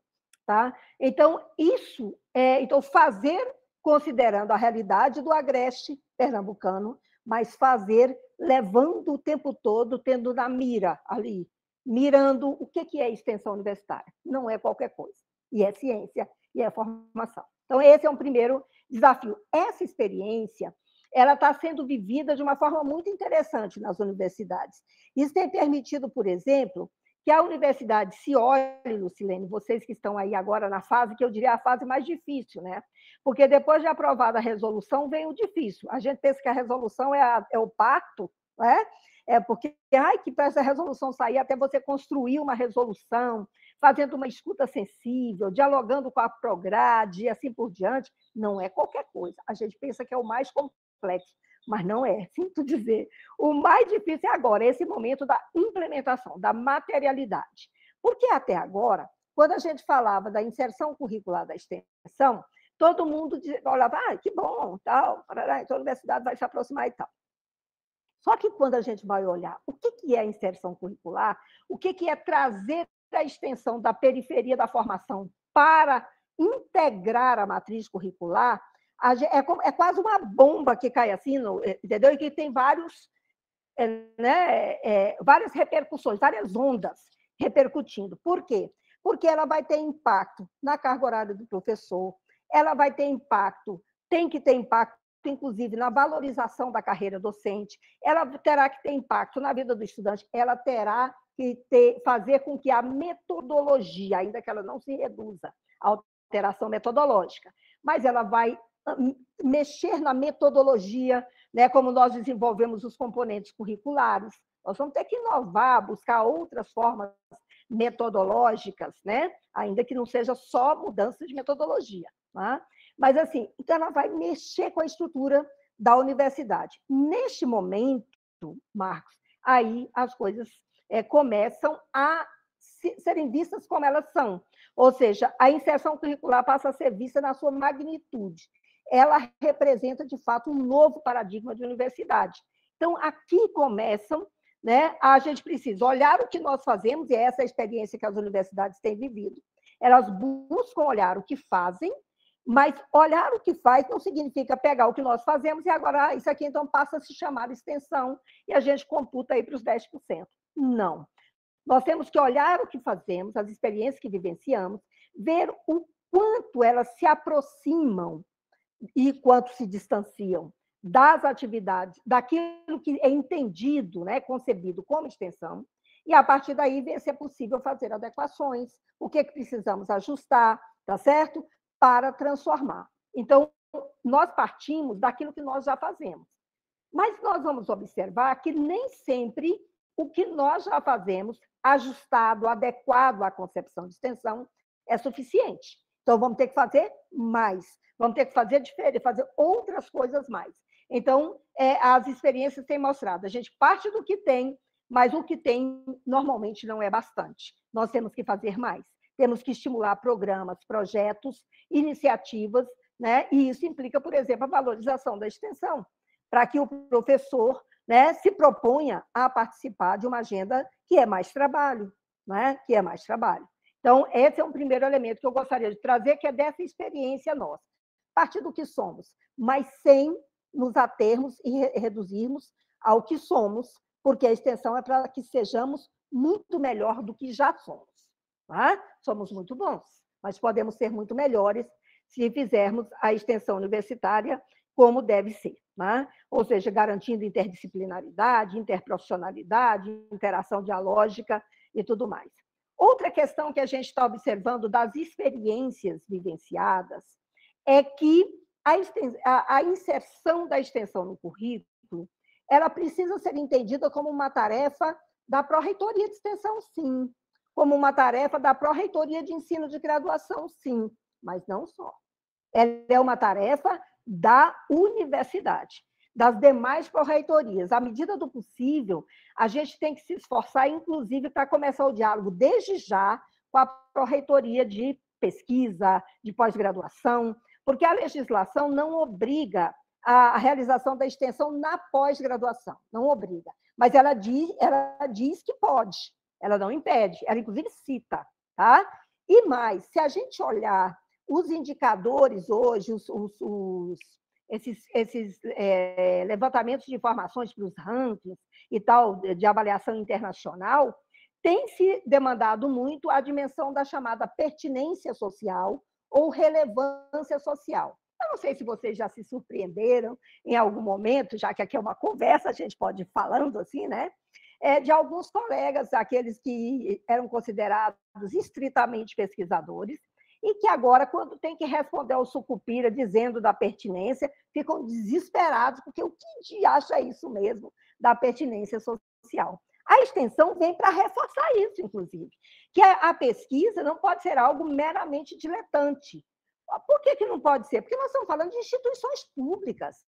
Essa instituição federal do Agreste Pernambucano foi criada para produzir conhecimento, produzir ciência, produzir tecnologia, mas não apenas para que os professores e essa comunidade acadêmica, os nossos estudantes, sejam pessoas muito sabidas, né, mais instruídas, que se distinguem dos demais. Hum, hum. Ela foi pensada para que ela possa olhar o território e contribuir com essa ciência para a transformação dessa realidade. Tá certo? Então, nesse sentido, é importante a gente considerar é, esse elemento, né? que, primeiro, é tarefa da, da, dessas pró-reitorias, mas é tarefa de todo mundo, e a universidade como um todo precisa se vincular né, a esse processo. Nós precisamos envolver, inclusive, a pesquisa. Precisamos envolver as outras pró-reitorias, certamente, porque senão vai ficar o seguinte, olha, é uma tarefa desse pessoal aí, é o Marcos que cuide disso. Não é? Não é. Inclusive, quem operacionaliza na verdade, a mudança no PPC lá, que vai garantir, não somos nós, da extensão. Quem faz isso é a Pró-Reitoria de Ensino e de Graduação. Eu não sei o nome como é colocado aí para vocês, mas é essa Pró-Reitoria que tem a batuta para fazer. Agora, qual é o nosso grande olhar, e isso eu, eu tenho chamado muita atenção? É que nós, da Pró-Reitoria de Extensão, temos que estar o tempo todo muito atentos para, para que não aconteça a validação de algo que não tem mérito extensionista, como se o tivesse. Tá? Então, muito atentos a isso. Então, é quem diz se é extensão ou não é a Pró-Reitoria de Extensão, a partir das suas normativas, a partir da nossa política nacional, né, das definições que vocês construíram ao longo da história da, da, da, da extensão nessa universidade. Ali é que diz o que, é que pode ser considerado extensão e o que não se enquadra nesse escopo, tá certo? Mas quem instrumentaliza para estar lá no PPC é a Pró-Reitoria de Graduação. Então, é trabalho conjunto, é trabalho combinado, articulado o tempo todo entre essas pró-reitorias. Uma outra questão é que a alteração no currículo, é, quando a gente traz a extensão para o currículo, a, o que a norma diz é que a atividade de extensão integrará o currículo e organizará a pesquisa. É isso que está escrito, ipsis literis. Integrará a, a, a, matriz curricular e organizará a pesquisa. Ah, é, não é por isso que a gente diz, não é complementar. Aqui e acolá a gente tem encontrado isso, é outra das experiências que a gente tem vivido. A atividade complementar pode ser a, a atividade de extensão? Pode, pode ser atividade de extensão, Marcos mas não pode ser computada como atividade dos 10%, que é o mínimo, que é o que tem que mudar no currículo. Que é outro cuidado que a gente tem que ter dessas experiências, que é separar o que é o que a gente está chamando de curricularizável daquilo que pode ser extensão também, porque o que nós queremos é muito mais que 10%. 10% é muito pouco. 10% é o que a lei está dizendo. Nós queremos que a universidade tenha 100% né, de suas ações com agendas de extensão. A universidade é para estar a serviço né, da sociedade, e nessa relação com a sociedade permanente.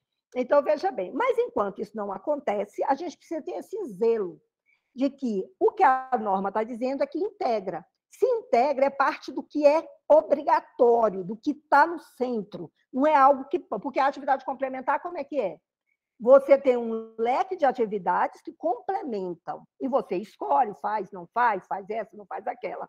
No caso da extensão, para os 10%, ela não pode ser colocada nesses termos. Ela tem que estar colocada de forma que o estudante, de fato, tenha oportunidade de fazê-la e vivenciar essa experiência. Essa experiência é muito enriquecedora da formação. Nós não estamos falando né, da inserção curricular da extensão apenas porque é bonito ou porque somos pró-reitores de extensão, é porque nós estamos convencidos, e não é convencimento porque desceu, né, porque alguém nos disse, estamos convencidos que a realidade atesta isso, que uma formação acadêmica onde o estudante vivencia essas experiências com o território, além de revelar esse compromisso da universidade com a sociedade, torna esse estudante mais qualificado, porque ele aprende também com a sociedade. Então, mais do que formar um especialista, sei lá, uma professora, um professor, né, que saiba tudo da didática, da psicologia, da educação, parará, parará, daqueles ferramentas que são fundamentais, mas tem que ser um professor que entenda desse mundo onde ele está. Eu entendo o que é uma criança, por exemplo, naquela localidade, naquele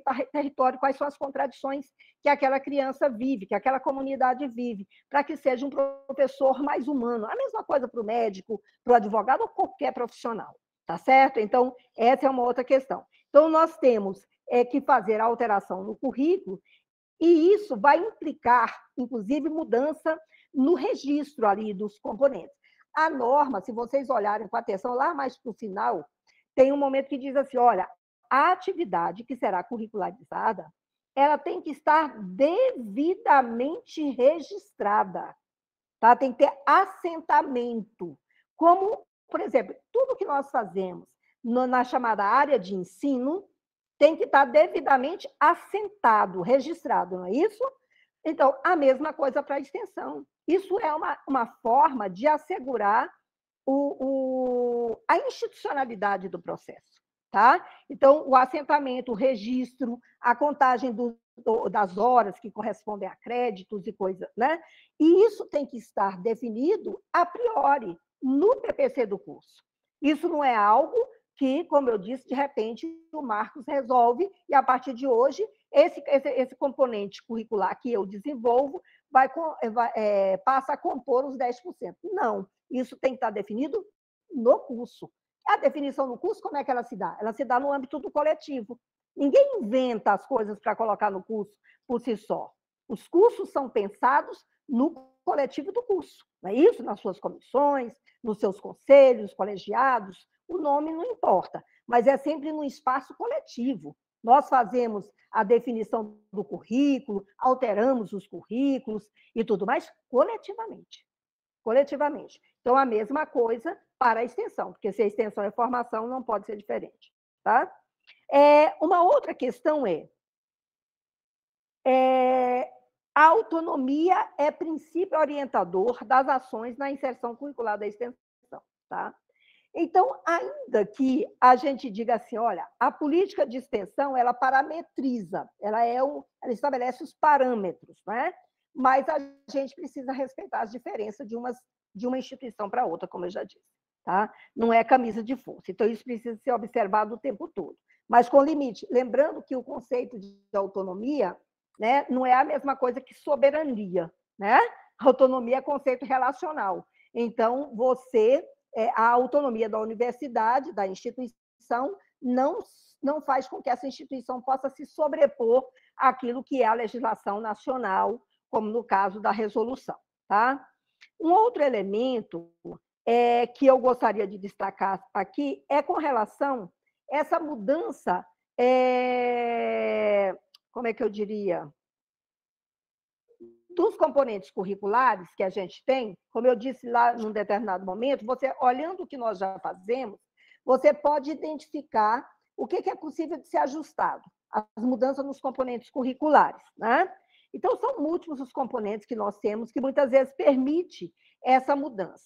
Mas essa mudança, ela e ela pode ser feita de diferentes maneiras, mas essa mudança, ela tem que ser feita sempre na perspectiva da interlocução para fora com a comunidade, tá? Tem que ser no sentido, por exemplo, de romper com esse conceito mais, mais conservador, vamos dizer assim, que temos de sala de aula, para entendermos a sala de aula como um espaço muito mais amplo, tá certo? Por que, que é importante a gente estar atento a isso? Que outra experiência que a gente vem observando é que em alguns locais essa mudança, né, as diferentes formas de, de modificação na, na, no currículo, tem muitas vezes implicado na disciplinarização da extensão, tá certo? E aí, com, com a linguagem bem simplificada, bem, aqui é, é um tiro no pé, tá certo? Nós vamos deixar de, de fazer a mudança, deixa de ser uma mudança é, rigorosa no fazer da universidade, na sua concepção como instituição, para escamotearmos aquilo que foi a luta do, do Fórum de Pró-Reitores né, ao longo da sua trajetória. É por isso, gente, que a gente diz assim: não, não há modelo, e cada instituição vai poder, a partir da sua realidade, por exemplo, utilizar este ou aquele componente curricular para compor né, o seu processo de inserção curricular da extensão. Aí a gente pode dizer assim: olha, eu não sei, eu não tive oportunidade de olhar a de vocês, por, é, tem, tem, tem instituição que não aceita ah, que o TCC seja computado como atividade de extensão para os 10%. Tudo bem, porque naquela instituição foi entendido que não cabe, tá certo? Mas tem outras instituições que vocês irão olhar, olhando o que a gente já faz, que aceitam desde que, e aí cria os elementos que condicionam ao cumprimento das diretrizes, tá certo? E eh, dos fundamentos da extensão para que isso seja computado, tá? A mesma coisa vale em relação às atividades práticas. Uma atividade prática por si só, ela não é uma atividade de extensão. Teoria, você tem uma agenda de te, é, não, uma parte daquele componente que é teórico, mais uma parte que os meninos e as meninas vão à comunidade e aplicam alguma coisa né, daquela. Então, atividade prática. Isso não é extensão, tá? Que a extensão não se reduz à soma do teórico mais à prática, ela é prática. Então, ela tem que ter um caráter transformador, tem que ter o um protagonismo estudantil e tudo mais. Mas ela pode ser ajustada para se tornar uma atividade de extensão? Pode. Agora, o que ela não pode, por exemplo, seja o estágio, seja a atividade prática, seja o TCC, é ser contada duplamente. Tá? Então, eu tenho o TCC e na minha universidade o TCC será computado como atividade de extensão. Espera aí, tem uma vírgula de tamanho né, bem gigante aqui. Por quê? Porque para ele ser computado como uma atividade de extensão, parte daquela carga ser computada, então ele não pode ser computado como componente obrigatório de TCC por si só. O que se pode fazer é você tendo, é, é, levando que o TCC cumpra né, a agenda da extensão, que parte daquela carga seja definida como carga de TCC, que vamos imaginar ali o currículo do curso exige que tenha X horas né, e tal. Então, parte daquela carga será de TCC e a outra parte né, seja de para o crédito da extensão universitária. Não é agora contar, não. Ele fez o TCC, são 10 horas, então são 10 horas de TCC, 10 horas de extensão, uma agenda só. Não é. Isso é, é dupla contagem para uma mesma coisa. Isso é escamotear aquilo que a gente está é, é, é fazendo. Quer dizer, é, um, é algo que não é possível. E aí não é a professora Olgami que diz, isso aí é norma, né? Você não pode contar duplamente né, aquele componente curricular. Tá certo? Então, assim, são questões para a gente observar dessas experiências que a gente tem vivido, tá? É, uma, outra, uma outra questão que eu gostaria de, de, de levantar é que a, a esse esforço que nós estamos fazendo nas nossas instituições, ele, nós precisamos cada dia mais nos atentarmos que é, em criarmos balizadores com, é, é, parâmetros de avaliação das nossas ações para que elas possam ser validadas em todos os sentidos. Validada para a carga horária do estudante, né, como carga horária extensionista, validada para a atuação do professor. Né? Lembra que eu disse? É uma mudança de paradigma, com ondas que vão reverberando. Então, nós precisamos repensar. Nesse momento, eu diria que nós já devemos começar um diálogo quem não começou ainda, quem tem gente que já começou, já está bem avançado, mas começar um diálogo com as pró-reitorias de pessoal, de gestão de pessoas. Por quê? Porque nós queremos, inclusive, que a extensão universitária seja praticada cada vez mais pelos servidores da área técnica da universidade. Não é só o professor. A diferença agora, com cuidado, é sempre isso, temos que ter cuidado. Nós estamos dizendo o tempo todo que a extensão é uma atividade de formação indissociável do ensino e da pesquisa. Então, ela tem dimensão pedagógica. Portanto, a sua estruturação tem que contar com a presença de um docente, porque isso é uma atividade docente, porque quem cuida do pedagógico não é o servidor da área técnica, é o docente. Então, tem que ter a presença do docente, para a gente não desconfigurar, para a gente não descaracterizar e falar, ah, então ela é qualquer coisa. Ela não é. Ela é, né, é uma das, um dos três elementos que compõem o processo formativo. Mas nós podemos e devemos estimular, porque tem vários colegas, né, servidores da área técnica, que têm contribuído muito, e quanto mais gente se envolver com a extensão, melhor. Ele pode compor a equipe, dependendo da, da, sua, da normativa. No nosso caso, aqui na UNB, por exemplo, nós aprovamos que os, os, os servidores da área técnica né, podem coordenar projetos de extensão, desde que o subcoordenador, coordenador adjunto, o nome não importa, né? Seja um docente, porque ela é uma atividade eminentemente pedagógica. Então, ela precisa da participação do docente. Né? Ou ele compõe como coordenador adjunto. Por exemplo, eu tenho um projeto que ele é coordenado por mim, mas tem a servidora técnica atuando. Assim como tem na equipe, obrigatoriamente tem que ter o quê? A presença do estudante. Essa é uma experiência muito importante. Porque antes a gente via muito na extensão a atuação assim: o professor pensa o projeto, a professora, o professor pensa o projeto, apresenta o projeto e os estudantes desenvolvem. Pronto, com a participação de estudantes. O projeto precisa ser pensado também com a participação dos estudantes. O projeto precisa ser não só é, desenvolvido por esses estudantes, mas o processo de avaliação dele, a sua reestruturação, tem que ser com a participação dos estudantes, porque nós vamos desenvolver nos nossos estudantes outras dimensões da formação, que não é só a dimensão do conteúdo, é a dimensão também da postura, né, diante da, da realidade, da autonomia, da tomada de decisão, do, da capacidade de avaliar, de pensar, repensar. Isso não é coisa simples. A gente pensa assim, olha, ah, chama uma pessoa, pega e, coloca um, um, um, uma ação ali e peçam para as pessoas avaliarem. Olhar, todo mundo está olhando ali super interessado. Quando você fala avalie, avaliar é aprendizagem. O processo de avaliação é processo de aprendizagem. Tem vários autores da avaliação que explicam para a gente, mostram que, inclusive, a própria avaliação, o esforço em avaliar, o levantamento de dados para avaliar, nesse momento, muitas vezes o estudante aprende mais, e nós também, do que no, na própria execução. Muito que você não viu na execução da tarefa, você irá compreender na avaliação, quando você busca entender o porquê disso e o porquê daquilo.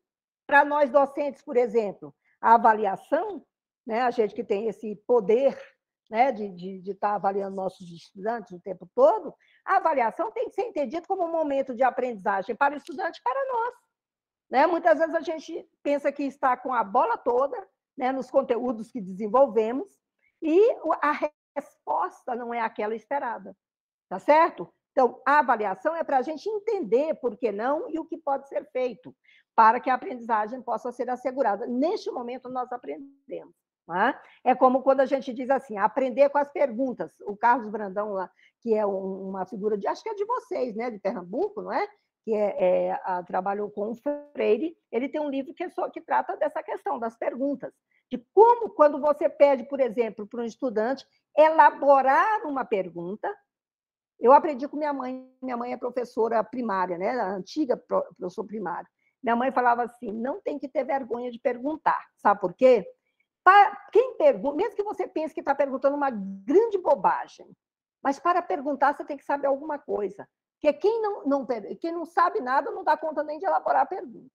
Tá? Então, a pergunta, por mais ela é um exercício. Então, colocar o nosso estudante para avaliar, perguntar, e desenvolver as ações, não apenas aplicar, né, é extremamente importante. Essa é uma outra aprendizagem que a gente vem colhendo das experiências. Temos visto aí no Brasil todo experiências extremamente importantes. Né?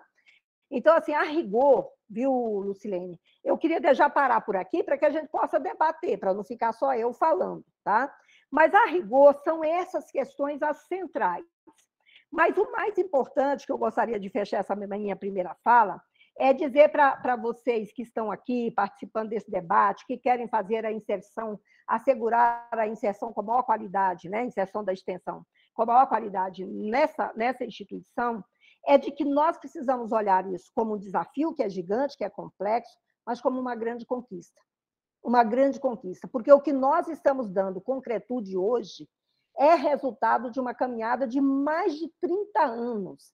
E não, não são só, são principalmente os nossos pró-reitores e pró-reitoras, né, todos que nos antecederam nesse processo, mas também da própria sociedade brasileira, que quer um novo lugar para a educação superior que é uma nova universidade, uma universidade de fato democrática, no sentido não apenas de que há ela dentro também, outras pessoas, e quando, por exemplo, nós fazemos os nossos projetos com a escola básica daí da região, né, a escola de, de, de, das comunidades, nós nos aproximamos, essa aproximação da universidade com os grupos né? o grupo quilombola, o grupo indígena, o grupo periférico, a escola. Essa convivência é meio que um, um, uma carta tá certo? de intenção da universidade com essa comunidade. É como se a gente estivesse dizendo para aquela meninada, para aquela juventude, o seguinte: olha, você pode estar aqui, quem está aqui é a professora Lucilene, quem está aqui é o professor Marcos.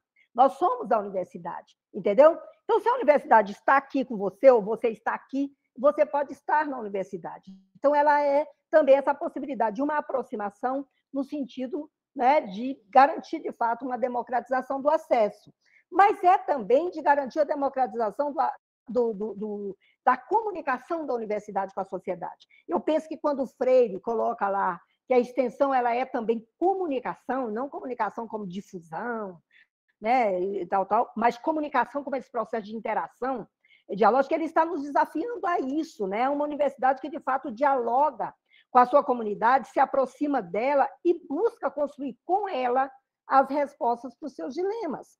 De uma universidade que seja verdadeiramente né, aberta a essa realidade de um país como o nosso, com as contradições que nós temos. Tá? Então, nesse sentido, eu, eu penso que nós temos que olhar essa questão da inserção curricular como a grande oportunidade. E mais do que as resistências que nós enfrentaremos para a implementação, a gente é, olhar essas resistências como desafios, obstáculos que podem ser superados, para que em dezembro a gente tenha né, garantido que todos os cursos né, da universidade tenham feito alteração nos seus PPCs, porque é no PPC que tem que se alterar, tá certo? Porque alterando no PPC vai repercutir no PDI, tá? Alterando no PPC vai repercutir em todos os planos de gestão. Fiz dia desses, eu estava de férias até ontem, mas antes de entrar de férias, estava trabalhando no plano de gestão, né? Da, da, que nós tínhamos que prestar contas, nós temos que prestar contas, né? E comparando tal. E nós fomos agregando, e temos que agregar. Temos que agregar os elementos da extensão. Ele tem que compor o plano de gestão. A gestão não pode mais ser pensada é, com duas páginas de ensino, duas páginas de pesquisa e um terço ou um, um quarto de página né, de extensão. Tá? Então, ele vai sendo agregado, e as pessoas começam a perceber isso. Então, eu penso que esse é um desafio e coloco assim, e coloco à disposição para a gente conversar, porque eu já, já falei muito, tá bom? Obrigada, professora Ogami. Vocês estão me ouvindo? Porque de vez em quando aqui dá uma travada, eu tenho que sair. Sim, sim. Pronto. Sim, estamos. Bem, eu acho que é, as palavras da professora Albami, elas vêm assim para reforçar, né, tudo que a gente discutiu ao longo dessas duas semanas, né? Então, professora Albami, a gente trouxe vários colegas, né, que realmente é, tocaram nestes pontos, né, e que foram muito importantes aqui para a discussão desse, desse ciclo, desse primeiro ciclo, né, que nós vamos ter outros mais para frente, né? É, vou abrir, pessoal, se vocês quiserem participar, é, fazendo perguntas, mesmo oralmente, é só abrir os microfones, tá certo? E aí a gente abre agora para o nosso cafezinho da tarde, o cafezinho virtual. Não deu tempo de eu fazer. E aí, é, vocês podem perguntar, é, pode entrar no debate aqui, né? E o professor é, Marcos Pinheiro Frank deseja iniciar essa, esse debate aí, conversando. Professor. Bom, mais uma vez, boa tarde, né? Deve ter chegado mais gente aí depois do início do nosso ciclo da tarde. Mais uma vez, também gostaria de agradecer e parabenizar a fala da professora Algami, né, que muito enriquece esse ciclo formativo. Eu acho que a gente é, consegue, é, no, no, desfecho desse ciclo formativo, como o professor Lucilene muito bem colocou, virão outros pela frente, né? Porque o processo formativo ele não, não tem fim, ele é um processo continuado de construção, desconstrução e reconstrução. Né? Então, é, como o professor Lucilene falou, as falas do, desse ciclo elas convergem a alguns pontos-chave, no meu entendimento, que a nossa comunidade acadêmica deve entender. Né? Eu acho que, é, para a gente tentar é, colocar em tópicos aqui, né, é lógico que não tentando diminuir a importância de cada tema, de cada eixo, eu acho que é importante o comprometimento da, da, da, da gestão universitária, né, como um todo. Né? Eu acho que a gente, o primeiro passo né, é a gestão estar comprometida, mas não só a gestão, porque a gestão sozinha ela não consegue né, construir, ela pode até construir o processo, construir o papel, como o professor Algami bem colocou, né, que é, é estabelecer as regras, né, o norte, mas a implantação, a parte de estruturação e, e é, operacionalização mesmo depende de toda a comunidade acadêmica, professores, técnicos, discentes. Então, esse é um ponto-chave. Outro ponto-chave que eu destaco né, na fala da professora Ogami, é, e que também retrata a fala dos outros colegas que participaram das outras mesas, é a questão é, que a, a, a curricularização da extensão ela nasce também não só por um desfecho legal, né? Eu até comentei no, no, nosso primeiro dia que a gente é feliz pela, pela resolução, né? que é, traça as diretrizes para a curricularização, mas também é, me, me, traz uma reflexão, né? Feliz por, por ter uma resolução que norteia e que nos faz, é, de certa forma, né, nos obriga a nos movimentarmos, a quebrar os paradigmas, mas também que é, eu acreditava que a gente tem, tem que partir de nós independente, né? A legislação coloca mínimo de 10%, a professora Algami coloca muito bem, é um mínimo de 10%, né? Mas depende de nós que é, esta curricularização ela seja ampliada, quem sabe até para os 100% que a professora Algami, né? Que seria é, um ideal, né? Mas que a gente vai sempre buscar o ideal, né? O ideal nem sempre é o real, né? Então a gente vai trabalhando nesse sentido. Outro ponto que eu gostaria de destacar na fala do professor Ogami, para toda a comunidade, para ficar bem claro, é que não importa, né, entre aspas, a estratégia de que vai ser adotada para fins de creditação. Seja um TCC, seja um projeto, seja um programa, seja é, inserido numa disciplina, eu vou é, aprofundar um pouco esse diálogo, vou pedir à professora Algami para exemplificar um pouco mais para a nossa comunidade os riscos da disciplinarização. Né? Já deixo aqui a minha, minha pergunta, né, e a minha solicitação para que a comunidade entenda né, o que, que se entende como disciplinarização da, da, da, extensão e quais os riscos, né, um exemplo, né, trazer isso uhum. na prática. Então, mas eu acho que, independente da estratégia, a gente tem que respeitar o quê? Né? É, eu incluo na fala da professora Gomi também a, a, questão do estágio, né, professora? Tem, tem instituições que consideram não só o TCC, mas o estágio, né? Não obrigatório, uhum. o estágio obrigatório. Né? Existe essa discussão. Mas qual é a estratégia? Que, qual o que, que a gente deve é, respeitar na no uso da estratégia, no uso do, de um método, é que respeite as diretrizes da extensão, que atenda os preceitos né, é, epistemológicos que estão bem claros na resolução, né, que ela está aí para nos nortear, para nos dar o caminho, o norte, né, para que a gente não se desvirtua. Perdendo a oportunidade de implantar a curricularização das ações extensionistas, né, através da sua avaliação, do garantimento de que se trata de fato de uma ação extensionista, o risco dela descambar para vulgarização, né, para uhum. deterioração de um, de um processo que é muito importante para a sociedade e ele pode se deteriorar pelo não cuidado da nossa comunidade acadêmica, como de qualquer outra comunidade acadêmica, ele pode se deteriorar né, é, e perdendo efeito, que seria o efeito desejado, que foi justamente o que o professor Algami e a professora Fabiana colocaram, que é o legado histórico do processo de construção da acreditação que vem de muitos anos.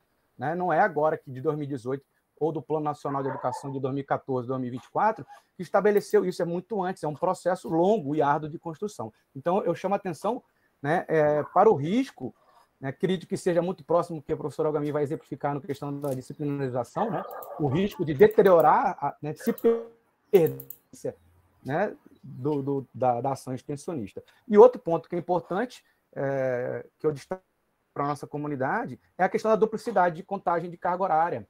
Né? Então, isso é um risco e é uma coisa que a gente deve pensar com muito cuidado no caso do CCD, do NDE, que vai discutir isso dentro né, é, dos seus colegiados, suas comissões, né, a estratégia para que isso não aconteça. Né? Então, eu fico aqui é, extremamente grato, professor Agami, né? reitero também meus, meus agradecimentos ao professor Jaime, né, que aqui, professor Agami, está representando a FACEP, um órgão de pesquisa, e a gente fez questão de convidar né, o órgão estadual de pesquisa, que fomenta a pesquisa, né, para que ele tenha, ele apresente para a comunidade né, a, da, o FAPiana né, a, a, sua essência de fomento à pesquisa, mas que também a gente começa a provocar, começa a se aproximar e tratar a extensão dentro do processo. Né, porque a gente vê com a curricularização a inserção da extensão no processo formador discente né, de maneira que a extensão, na sua essência, ela vai se apresentar de forma indissociada do ensino da pesquisa. Mas será que, e agora com a curricularização, o ensino vai estar completamente indissociado da extensão? E como é que está a pesquisa? Ela está, de fato, indissociada da extensão? Ela está, de fato, indissociada do ensino? É aí que eu estava finalizando a fala com o professor Jaime, quando o professor entrou, né, que é a questão é, desta, desta aproximação do ponto de vista do impacto social. Né? Como, é que, como é que essa pesquisa né, muda, transformou a sociedade? Então, se a gente consegue atrelar a pesquisa, o seu papel social, né, o olhar da extensão para transformar a sociedade, eu acho que a gente tem aí sim né, é, a consolidação do que está na, na, no artigo 17 da Constituição de sociabilidade entre ensino, pesquisa e extensão de forma plena. Eu acho que a gente está caminhando para isso. Né? Eu acho que o caminho né, começa a ser trilhado nesse sentido. Mas era isso que eu queria deixar a minha fala, meu agradecimento, professora, e passo a palavra para os colegas, eu acredito. Ah, desculpe, e gostaria que a senhora explicasse um pouquinho mais né, para a nossa comunidade um exemplo né, da questão da disciplinarização, né, o cuidado que a gente deve ter com isso. Ok. Eu vou esperar, vou esperar mais alguém falar ou eu já respondo? Como é que vocês estão pensando? Não, pode responder. Eu também tenho depois uma pergunta. Olha só, essa questão da, da, disciplinarização é algo que também me preocupa muito, professor Marcos. Muito mesmo, tá? Porque, é, veja bem, eu vou pegar, eu vou pegar o exemplo, vou pegar o próprio, vou pegar um exemplo que a gente tem aqui na Universidade de Brasília. A gente tem um programa, um projeto, hoje é um projeto, na verdade, um projeto que, que começou como uma disciplina, tá? Uma coisa é a disciplina, tá certo? Você tem a disciplina naquele modelo que, deve, que pode ter as metodologias mais inovadoras, mais interessantes, mas continua numa lógica disciplinar, fechadinha ali no seu âmbito. Para ser extensão, primeiro ela tem que ter um caráter interdisciplinar. Não pode ser o diálogo na, dentro da mesma área, dentro daquele mesmo componente. Ele tem que ser um diálogo também para fora, tá certo? Com as outras áreas de conhecimento da própria, do próprio campo científico. Mas o nosso interdisciplinar também pressupõe o diálogo com outras formas de conhecer. Porque não existe uma única. Né, o que nós fazemos é o conhecimento científico, mas existem outras formas de conhecer. E o conhecimento, por exemplo, das nossas comunidades são formas distintas da nossa, com metodologias distintas da nossa, mas são outras formas de conhecer. Então, a interdisciplinaridade ela oportuniza a, a, a, a convivência com outras áreas e é, de conhecimento e também com essas outras formas de conhecer. Isso caracteriza a extensão. Então, é, se eu pego um componente que hoje está na estrutura antiga, vamos dizer assim, por mais inovador que ele seja, disciplinar, ele precisa primeiro superar essa barreira da, é, e se garantir como interdisciplinar para ser computado, né? mas ele ainda não deu conta de tudo, tá bom? Ele precisa também garantir a dimensão de pesquisa, de investigação. Então, não é uma mera aplicação prática, tem que ter a relação para fora, mas não é agora. Eu pego meus estudantes na minha disciplina, bem animada, bem arrojada, e esses meninos irão até a comunidade aplicar aquele conhecimento. Essa vertente está ultrapassada, não é disso que nós estamos falando. Não é de aplicação, essa aplicação é uma relação autoritária, é uma relação uhum. unilateral de uma universidade que se reconhece como espaço de saber, mas não reconhece o outro como, como alguém com quem eu devo estabelecer o diálogo, com quem eu tenho que aprender. Então, ela tem que estabelecer uma relação com a sociedade, independente de que sociedade né, é a sociedade mesmo, no sentido dessa sociedade que não é a nossa comunidade acadêmica né? não é essa comunidade científica ali interna, mas essa sociedade que pode ser um grupo de produtor rural, pode ser uma comunidade periférica, outra, não importa. Eles têm formas de aprender. Então, tem que o nosso estudante ir para essa comunidade num diálogo, num processo de comunicação, onde ele interage e também busca conhecer como o pensamento, o conhecimento é construído naquela comunidade, tá certo? Então tem que ter uma dimensão de interação e tem que ter uma dimensão de investigação, de questionamento da realidade, de busca de levantamento de informações que deverão ser refletidas e sistematizadas, tá certo? Aí você está avançando para que aquilo que era um componente disciplinar no modelo de disciplina vá se transformando. Então, não é, é simplesmente atividade prática em si mesma. Então, tem que agregar a interdisciplinaridade, a indissociabilidade com a pesquisa, né? o ensino já está embutido, porque é um componente disciplinar. É quando interage com a sociedade, vem a dimensão da pertinência e da relevância social, tá certo? E tem também o próprio impacto na vida do estudante, porque o estudante, nesse contexto, como ele não é um mero aplicador de conhecimentos e não é um transmissor, ele é reconhecido como um sujeito que também tem, da sua própria cultura, formas de aprender diferentes, né? tem formas de se, ir se constituindo no espaço. Aí ele se torna autor no processo e faz aquilo que a gente tinha conversado um pouco antes. Ele constrói, ele avalia, como você falou, desconstrói, ressignifica e faz de novo e assim por diante. Nessas condições, você passa a ter um componente curricular que pode ser considerado também um componente de extensão, uma atividade de extensão. Ao fim e ao cabo, isso é muito mais do que um, um isso não é uma disciplina, isso é um projeto que pode surgir de uma disciplina, tá? O que que, como eu disse, nós tínhamos, é, é nós tínhamos uma disciplina sobre a questão do Darcy e nós resolvemos, porque o, o decanato aqui é decanato, diferente, né? Não é pró-reitoria, é decanato. O decanato de extensão, nós temos alguns componentes, códigos de disciplina, nós temos alguns componentes disciplinares. Nós estamos, inclusive, fazendo agora, no, no, por isso que eu disse, muda tudo. Nós estamos repensando todas, todos esses componentes curriculares. A gente tinha já, acho que três ou quatro que eram reiterados, pensamento negro contemporâneo, então era só o DEX que acabava trabalhando com essa questão, a capacidade criativa na pesquisa e tal, a gente já fazia, mas ele era uma disciplina, um modelo mais tradicional, ainda que fosse oferecido pelo decanato de extensão. A gente estava fazendo uma disciplina, a gente tinha código, trazia o professor e ponto. Que é que nós, que é que nós fizemos? Então, tinha a disciplina do Darcy nós transformamos, num, hoje é um projeto. Né? Ele é pensado, tem dois professores que coordenam, é sobre o pensamento do nosso fundador, Darcy Ribeiro.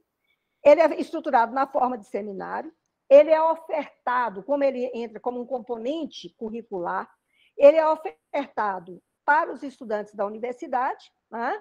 E aí, quando aceito pelo estudante, passa a ser uma disciplina, ainda que a gente ainda não, não, não fez alteração em todos os cursos, então, é aceito como um componente disciplinar, lá, os créditos disciplinares, e ele é ofertado também para a comunidade externa, de forma que são 200 vagas, tá certo? 120, 140, dependendo, são da comunidade interna, é muito concorrido hoje, e o restante são da comunidade externa, qualquer que seja a comunidade externa. Não importa, inclusive, se essa comunidade externa é um indivíduo que tem a graduação, esteja na graduação, não importa. Ele vai para participar dos seminários, debater e trazer também os seus conhecimentos. Tá? É estruturado na forma de disciplina. Ele articula, então os estudantes atuam junto com esses dois professores, tem um grupo de estudantes que atuam como é, parte da comissão, não é comissão, é um outro nome que se dá, mas da equipe, da equipe, da equipe executora do desse projeto, tá?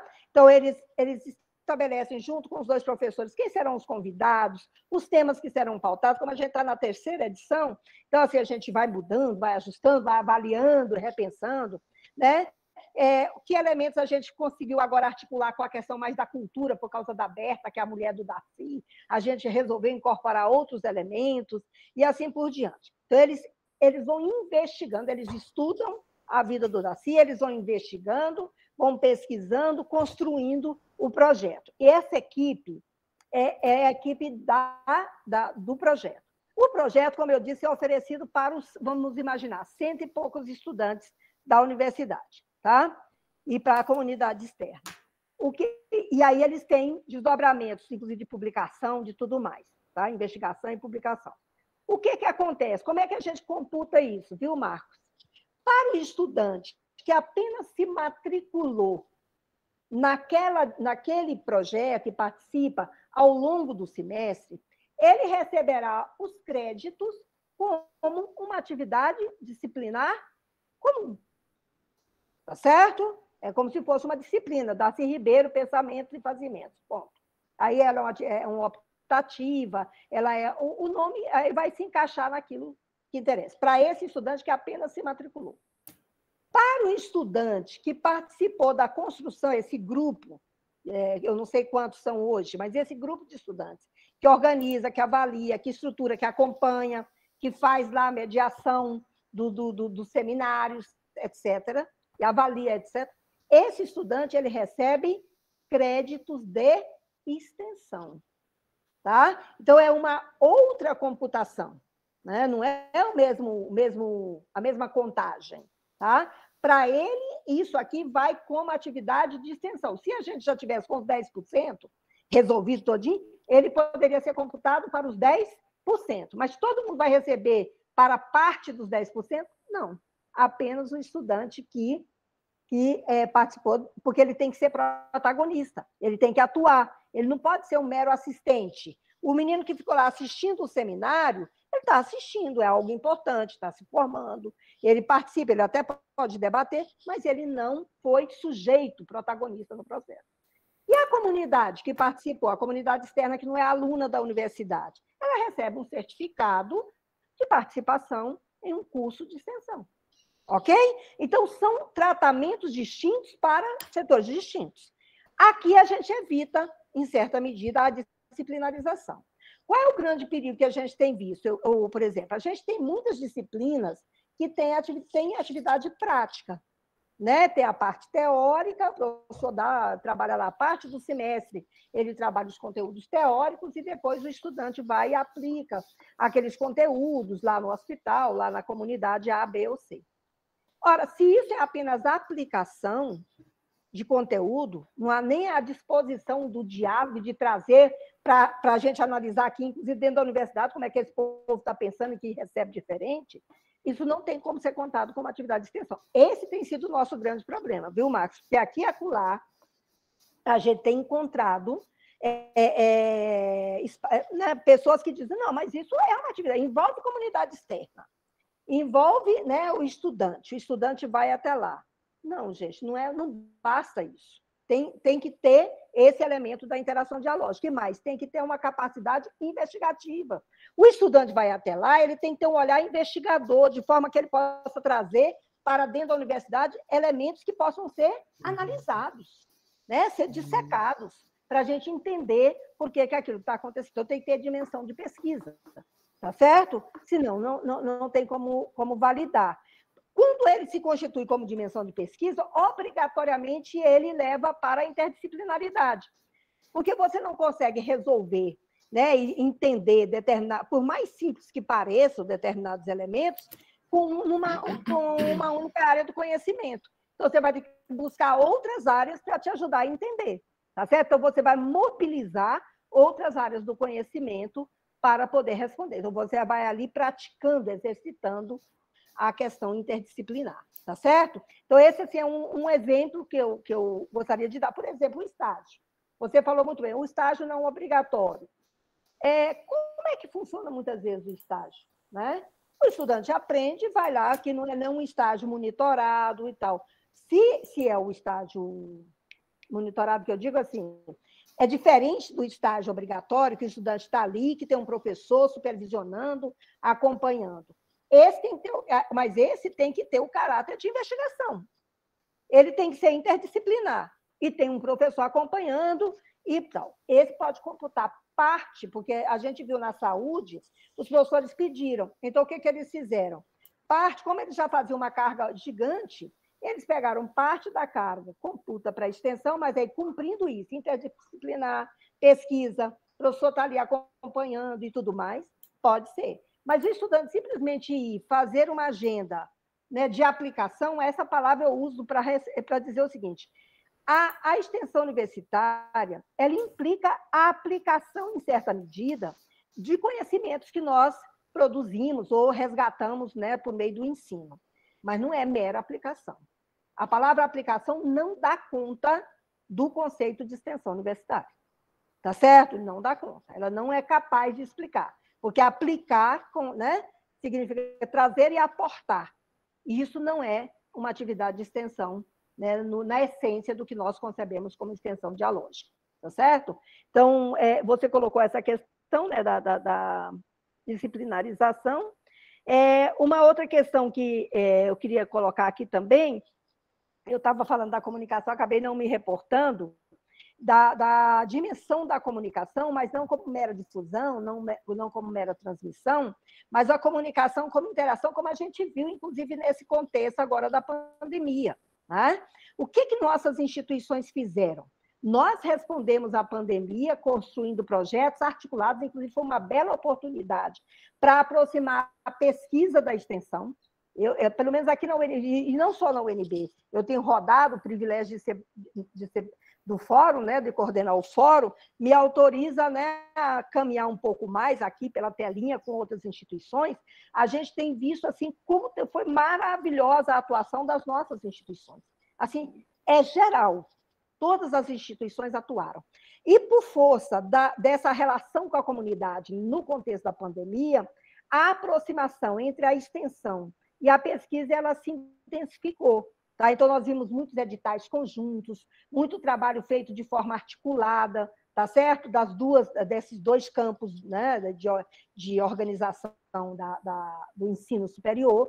Foi, foi, foi mais alargado, vamos dizer, no tempo da pandemia do que foi em tempos anteriores. E, por último, dizer ao pessoal da FACEP, ao, ao professor que está aí da FACEP, parabéns. É isso que nós queremos. Agora mesmo em Minas Gerais, a gente estava conversando, o pessoal da, aí eu não sei o nome lá, mas da Fundação de Apoio lá da, de, de Minas Gerais, também vai lançar um edital específico, né, é, específico, um edital articulado da é, Pró-Reitoria de Pesquisa com a Pró-Reitoria de Extensão. Na UNB, nós tivemos um edital que a, a quer dizer, não é para a UNB, a UNB fez a interlocução com a FAP, no nosso caso é FAP, ela lançou um edital específico, infelizmente ela lançou quase que às vésperas da pandemia, e aí o, edital acabou se inviabilizando, porque ele foi pensado para um modelo presencial e tal, e houve mudança na direção da FAP, só que nós estamos, retomamos a discussão e deve sair um edital agora também da FAP-DF para envolvendo o decanato de extensão e o decanato de, de pesquisa e inovação, porque a gente participa, inclusive, ajudando a construção dos editais porque as equipes das FAP são normalmente muito pequenas, né? E aí a gente contribui, ainda que o edital seja amplo, universal, outras instituições possam concorrer, mas que contemplam a questão né, e a especificidade das nossas instituições públicas. Então, parabéns, nós queremos isso mesmo, queremos mais e mais que seja fomentado, e acho que é interesse das FAPs. Por quê? Porque significa ter uma pesquisa não para atender uma parcela, mas para atender as demandas né, da comunidade. E a comunidade vai agradecer muitíssimo. Tá? Professor Ogamir, oh, desculpa, não se deve estar aparecendo aí, ouvindo, vocês ouvindo o meu titim, titim, mas é porque eu não estou conseguindo desligar o meu microfone nem minha câmera, tá? É, professor Ogamir, o, o Jaime é, teve que sair, ele disse que não queria lhe interromper, é, mas estava muito feliz com o que ele estava ouvindo aqui, vai levar lá para a FACEP, e a gente ainda vai ter um encontro com ele para discutir isso né? E inclusive eu vou pegar essa fala sua e vou editar e levar para ele. Tá é, eu vou fazer, vou dar uma olhada aqui, professora. Olha, ele escreveu: precisados ter uma emergência familiar aqui para resolver. É, pegar as crianças na escola, nada grave, mas urgente. Infelizmente não consigo ficar mais tempo, mas nossa conversa continuará em outros ambientes. Desculpem-me. Parabéns pela organização do evento e por todas as palestras importantes. Parabéns, professor Ogami. Né? Ele, tá, ele falou aqui também no zap para mim. É, deixa eu ver. Marcelo. O professor Marcelo, é, eu acho que numa fala anterior né, da senhora, ele comentou da mesma forma atividades práticas na disciplina. Qual o cuidado? Se o Marcelo tiver aí, se quiser deixar mais claro. Oi, eu estou aqui na universidade, tá, a internet está bem instável aqui. Parabéns, professor Algamir, né? Essa fala foi muito esclarecedora, muito enriquecedora para nós. É, tenho certeza que nós todos aí vamos é, ter oportunidade aí de, de é, também é, aproveitar muito, né? Dentro dos nossos MDS, que vai ser importante, né? Essa, essa fase. E, né, mas já foi contemplado, né? Com a, com a resposta ali é, junto com a, com a, pergunta do professor Marcos Frank, e também né, viria essa parte de, é, dentro das uh, disciplinas que têm atividades práticas, né? Não é só né, ter atividades práticas e levar né, essa atividade prática para fora que está fazendo essa extensão, né? Então, acho que seria bem o que a senhora estava falando. Já foi contemplado. Obrigada, Marcelo. Agradeço. Obrigada. É, o professor Luciano comentou muito bom. Há uma forma de saber que está também que está presente nos espaços para além do espaço da universidade, saberes que se articulam e se enriquecem. Então, o comentário do professor Luciano, que trabalha bastante com extensão, né? É, e aí ele ainda comenta que é uma perspectiva claramente freiriana.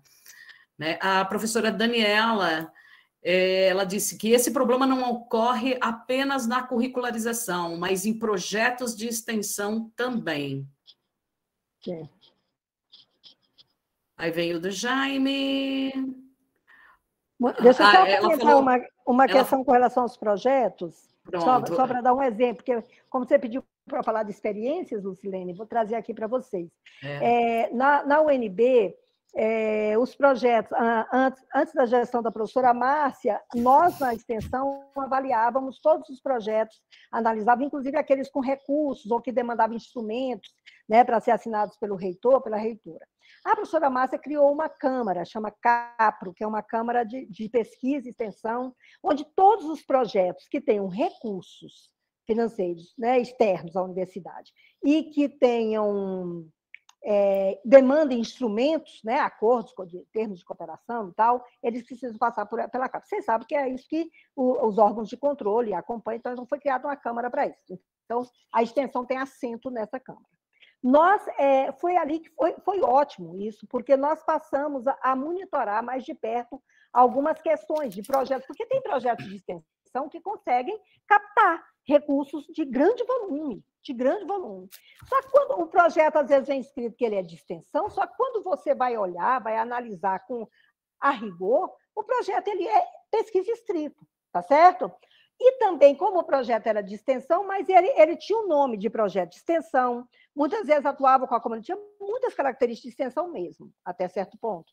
Porém, não passava pela, pela, pela pró-reitoria de extensão, no caso, pelo decanato né, aprovavam lá na, no, no, no, colegiado do curso, no, no, sei lá, nos órgãos internos do departamento, do instituto, e já ia para o reitor, a reitora assinarem o termo de cooperação e tal. Com a Capro, nós conseguimos mapear isso mais de perto. E aí nós fizemos normativas. O projeto, para ele receber esse nominho bonitinho de extensão, ele tem que ter mérito extensionista. Ele tem que ter uhum. características da extensão, obedecer. E ele tem que passar por quem? Pelo espaço institucional da extensão, que é o decanato de extensão. É, agora não mais tanto, mas no começo, chegava lá, o indivíduo dizia, ah, mas tem que assinar até de, o teto sai amanhã, se não assinar, tá, tá, tá, volta. Se não tiver o parecer da extensão, para dizer que esse é um projeto de extensão, não vai.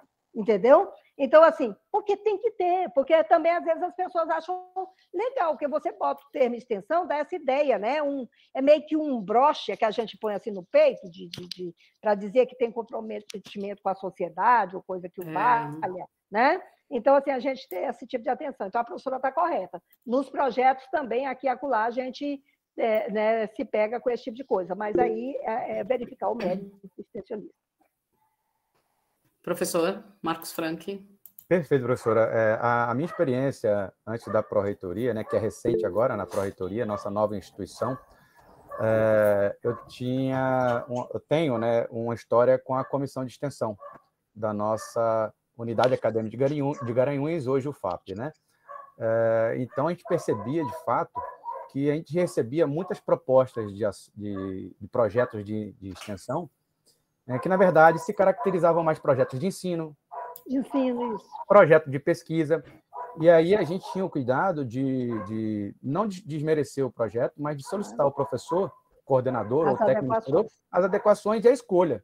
Né? Olha, o, do, da forma como está, sugerimos que seja encaminhado para a comissão de ensino ou para a comissão de pesquisa. Porém, se houver as adequações e a, e a caracterização de uma ação extensionista, isso é um exercício, né? Não estou dizendo que a gente não errava né, na comissão é, na caracterização de uma ação extensionista. Isso é um processo de aprendizagem que a gente continua aprendendo e acho que agora, né, com a curricularização da extensão, a gente mesmo debatendo, a gente vai olhando para trás de nossa história, poxa, já passou um projeto né, por mim eu validei como extensão e não era extensão. Isso eu falo né, da minha pessoa mesmo. Então, acho que isso é um aprendizado que a gente vai desenvolvendo junto com a comunidade, né? Junto com a comunidade.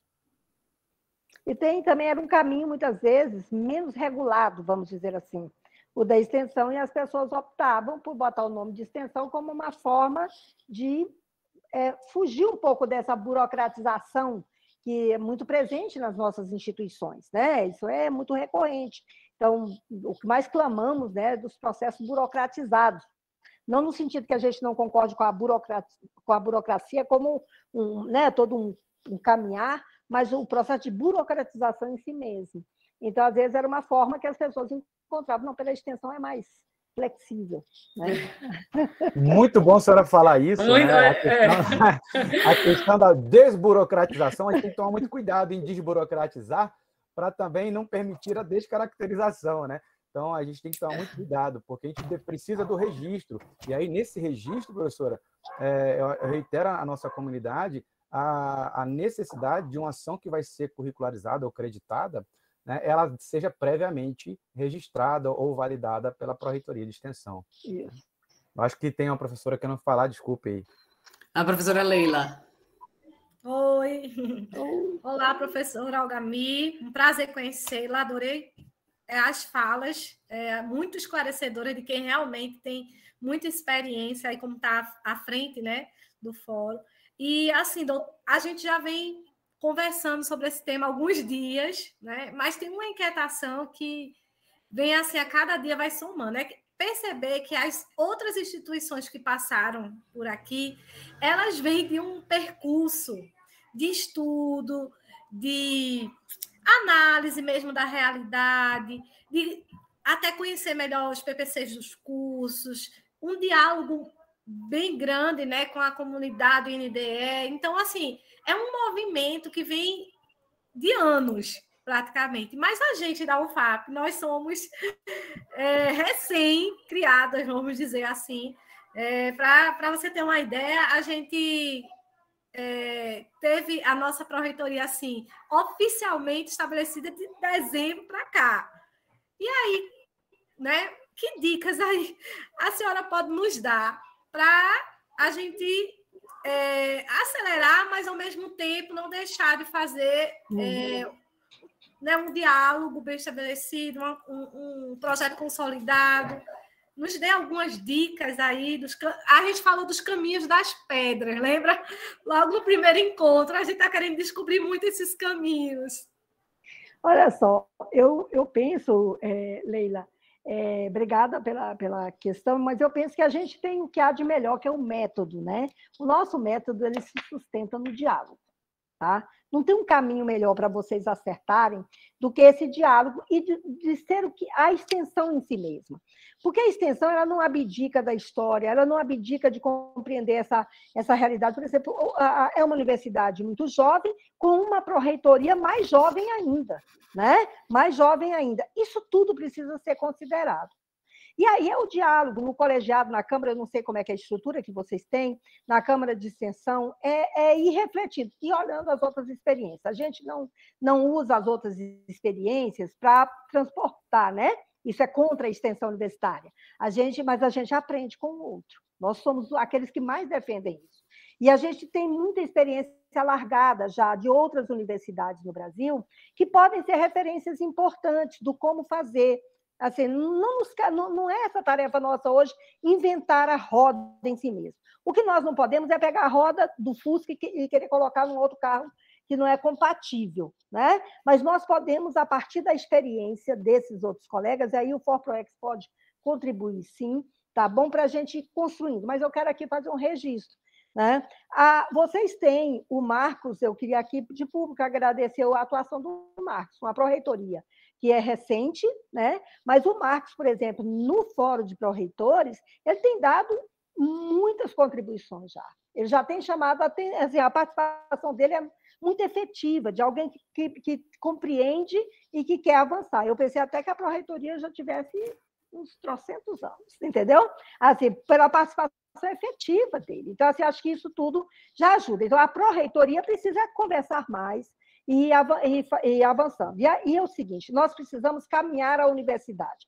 Aí eu vou pegar a experiência da própria UNB. O UNB tem uma tradição muito forte da extensão. Na verdade, o primeiro, o primeiro presidente do Fórum de Pró-Reitores de Extensão foi o professor Volney, que é daqui da UNB. Ele estava lá na comissão em 87 que criou o fórum, foi eleito o primeiro presidente. Eu sou a segunda vez que a UNB assume a presidência. Olha só, tem um intervalo aqui. Mas, como qualquer universidade, nós temos 62 anos, vamos fazer agora nesse mês de, de abril. É, como uma universidade com 62 anos, nós tivemos momentos de muita força na extensão e momentos de muito, muita fragilidade, com concepções que concorrem. Nós tivemos momentos, por exemplo, que o que valia era mais aquele projeto de extensão que conseguia captar recurso externo. E aí os projetos, esses projetos que dialogam, não conseguiam, então não tinham. Então tem de tudo. Mas como a extensão em todo o Brasil, ela não era reconhecida e ainda está distante de ser o que nós queremos, como uma dimensão importante, fundamental, que tem que estar contemplado, inclusive, no orçamento público, tá? no orçamento do Estado, na, né? no, no orçamento federal, é, então os professores também não eram estimulados. Ora, o professor faz extensão muitas vezes, ele aquela, aquela atividade fica como um, porque ele é um indivíduo comprometido, ele é um militante da causa, mas aquilo muitas vezes não é reconhecido. Não é reconhecido para a carga horária, não é reconhecido para a progressão. Né? Eu já fui da, da comissão de carreira docente, sei o que, que é olhar, por exemplo, o processo de um professor que é estrito pesquisador e um professor que era é, estrito extensionista, o tanto de, de, documento que ele tinha que colocar de participação, de, para poder somar os pontos que o indivíduo conseguia com um artigo publicado, tal, tal, tal entendeu? E assim por diante. Então, essa desvalorização também contribui para isso, para esse afastamento. Qual é o grande desafio, eu diria, falando aqui da, né, um pouco da minha experiência, para vocês? É começar um diálogo mais intenso. Né? Eu tenho a impressão que vocês já começaram. Essa experiência desse circuito de vocês já é exemplar disso. Né? Uma experiência de diálogo permanente ali com as unidades. E criação nas unidades de estruturas que sejam porta-vozes da pró-reitoria.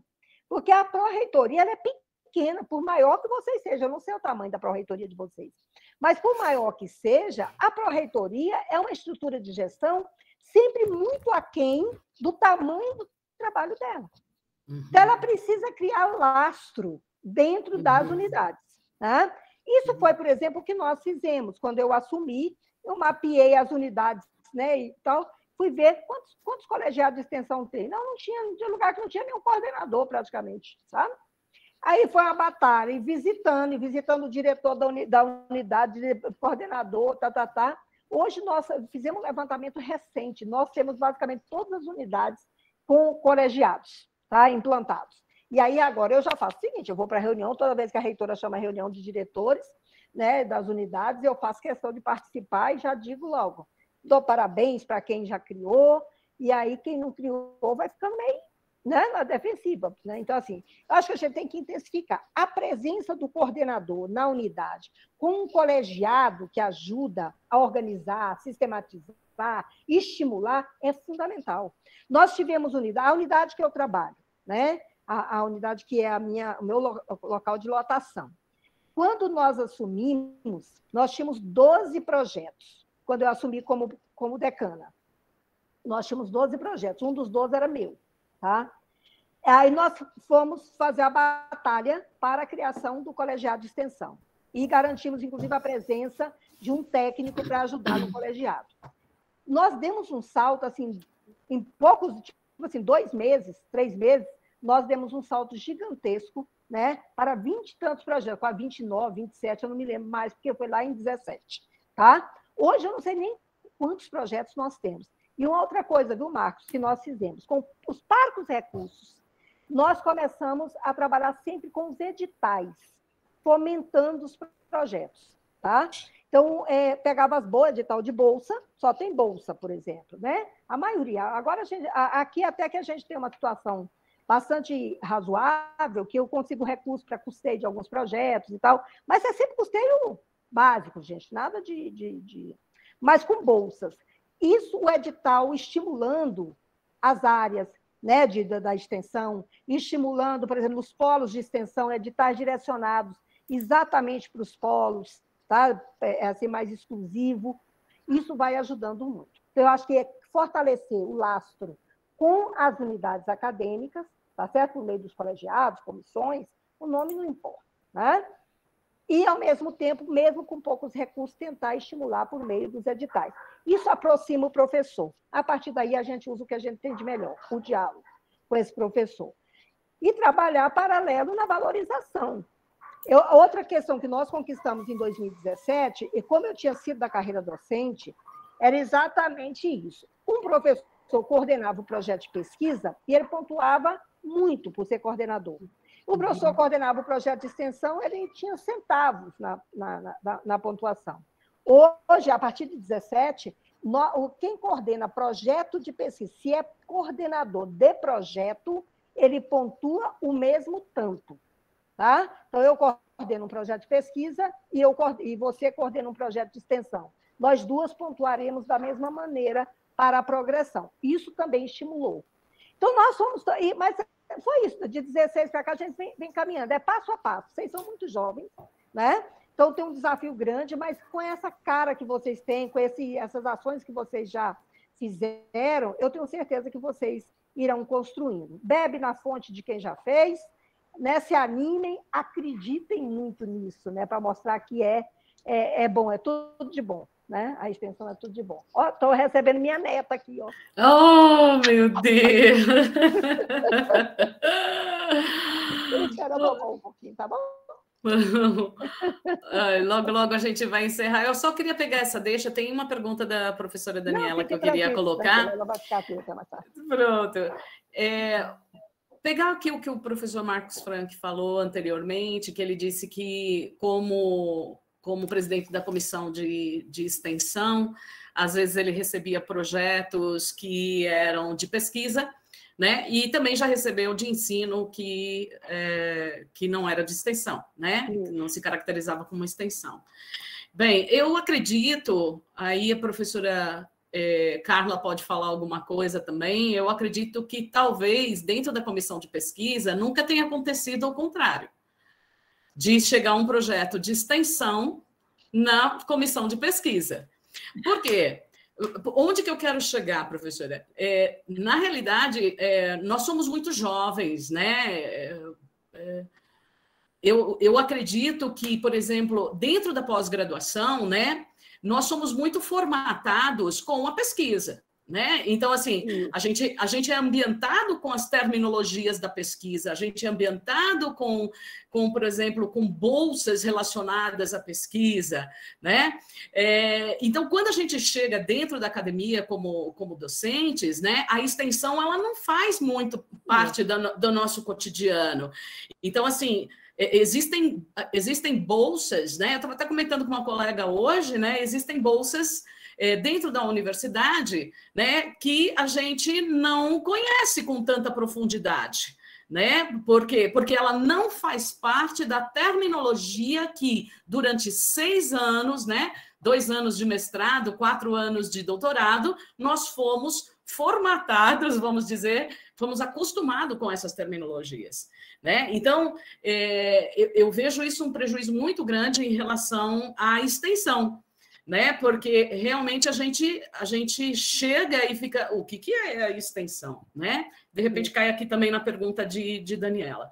Então, assim, a minha pergunta, mediante essa, essa explanação toda, é em relação a que pela sua experiência, né, o que tem ouvido, eu sei que a, a curricularização da extensão ela está voltada mais para a graduação, né, é um processo novo, é, é, um desafio novo, é um passo de cada vez, né? Mas aí eu queria saber se já houve discussão, é, como estão as discussões em relação à possibilidade de que haja uma percentagem, né, dentro da pós-graduação né? Porque aí é, eu vejo como é, é, esse profissional já vindo com essa é, com essa coisa mais impregnada dentro dele, né? E que quando adentrasse a academia já estava mais amparado de que isso está acontecendo e de que isso é importante.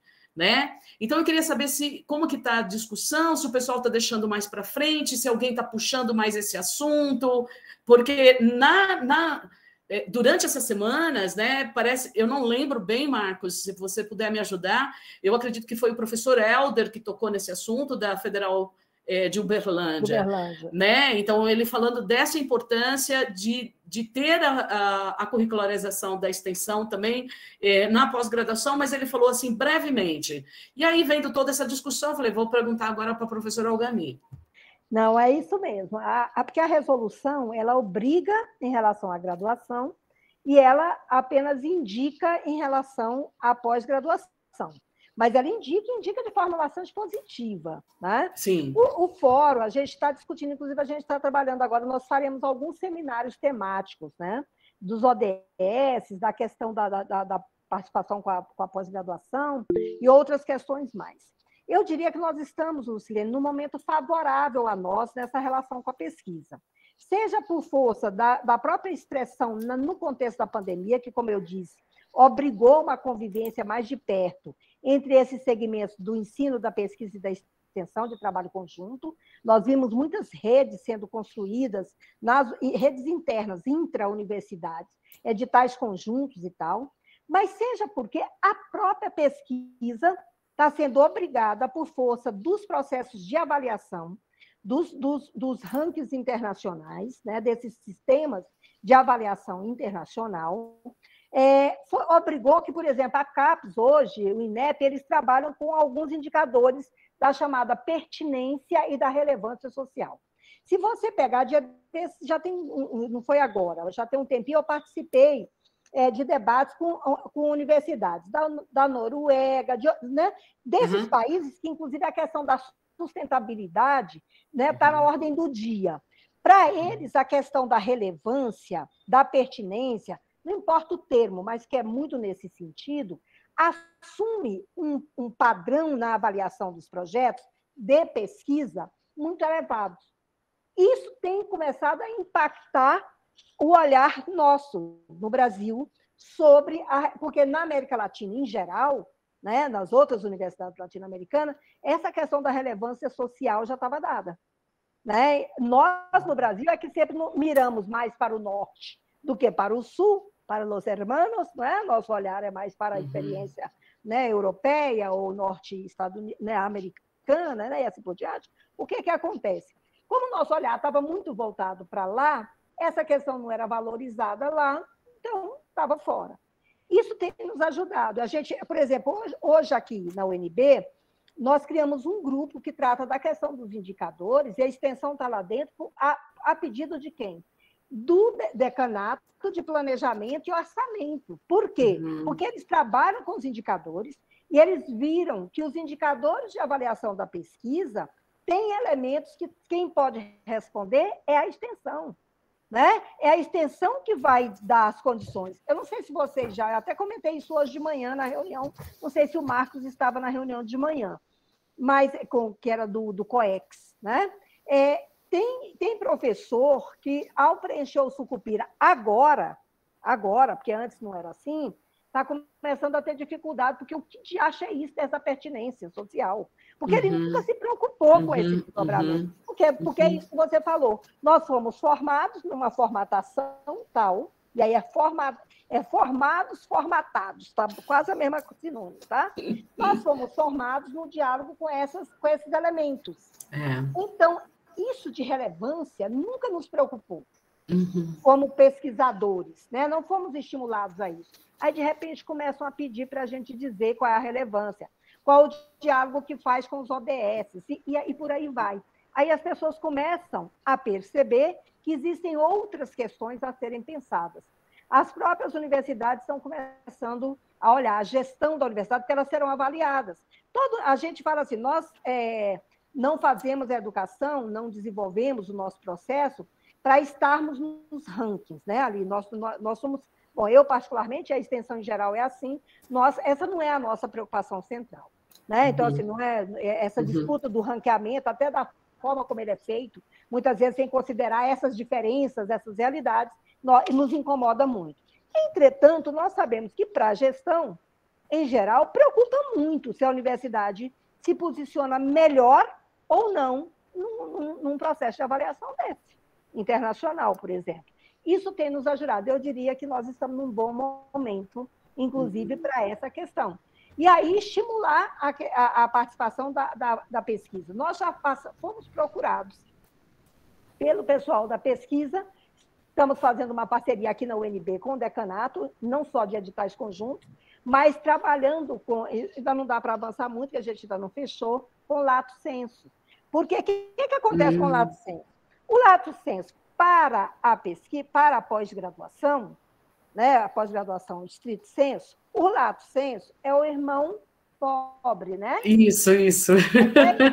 Tá para nós da extensão, muito do que nós fazemos se aproxima do lato senso. Quantos é.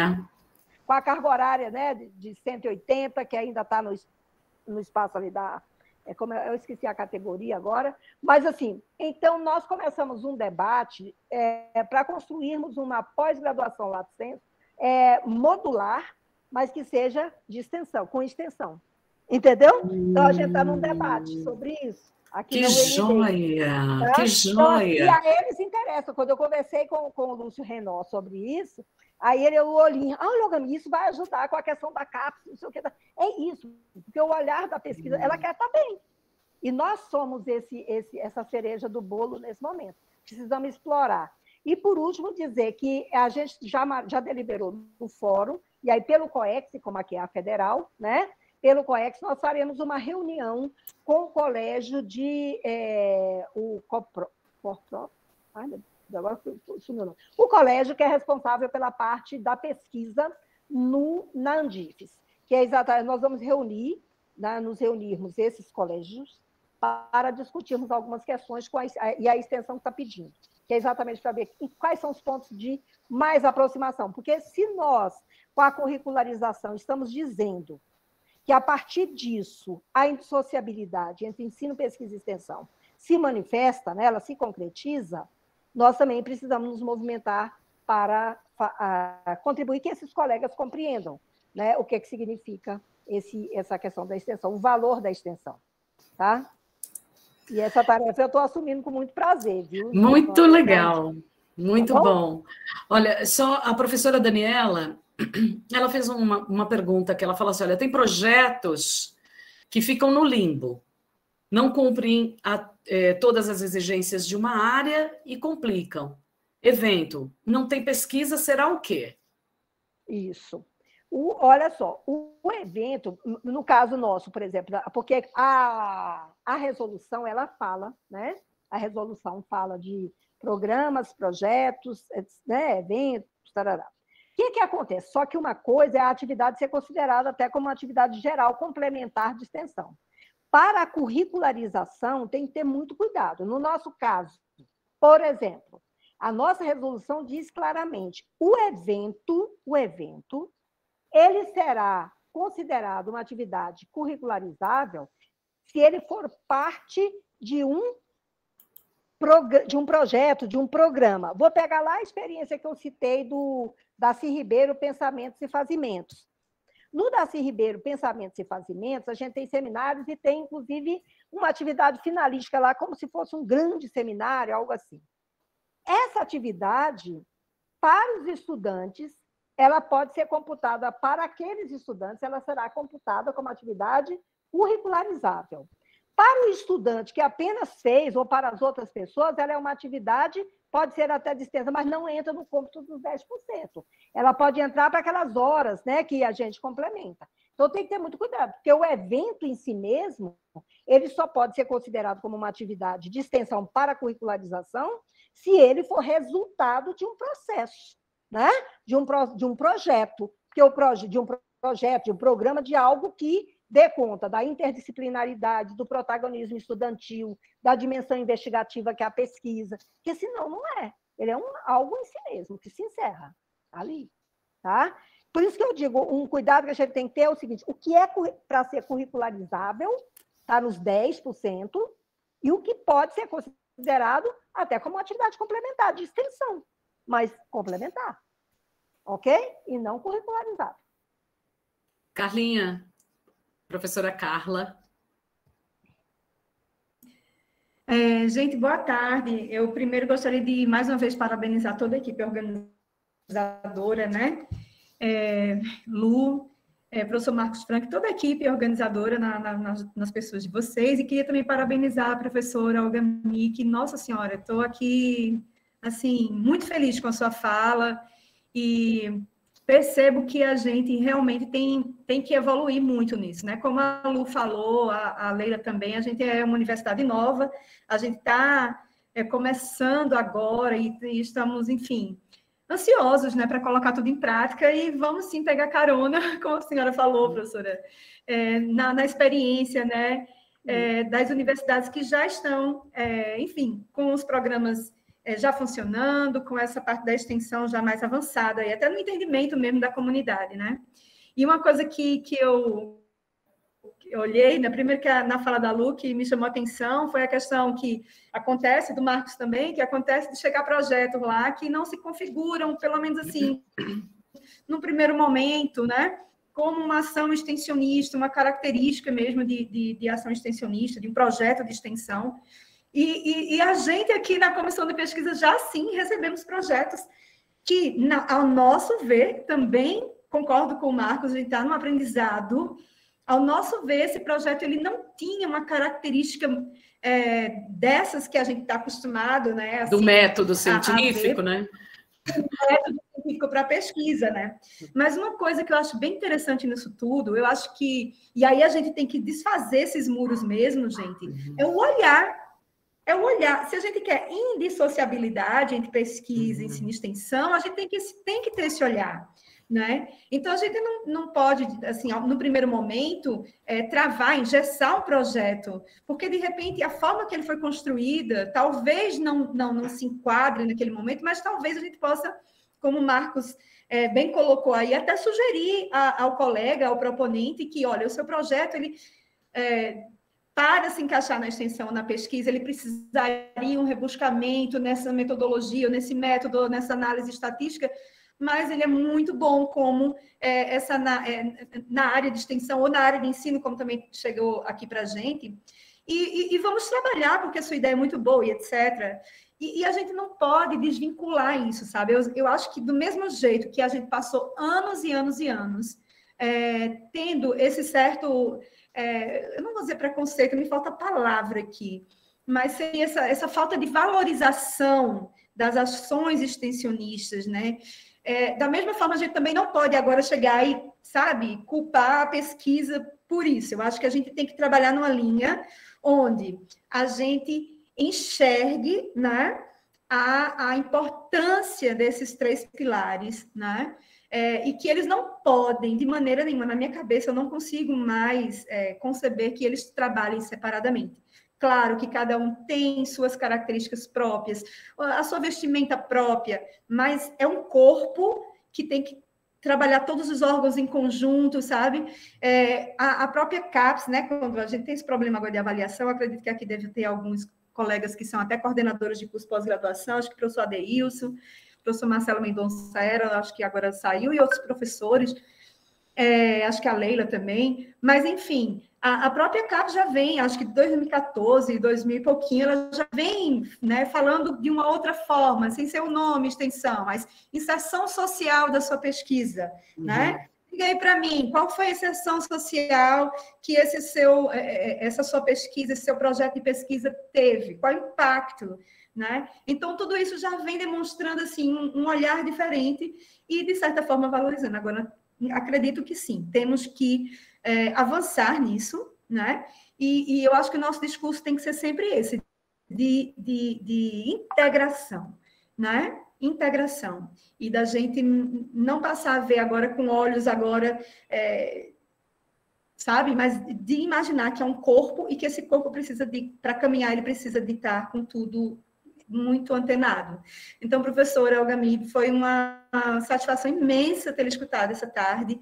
É, e, enfim, agradeço pelas suas palavras, melhorou muito ainda aqui a, a, a minha visão. E, sem mais delongas, é, parabenizar toda a equipe de novo, viu?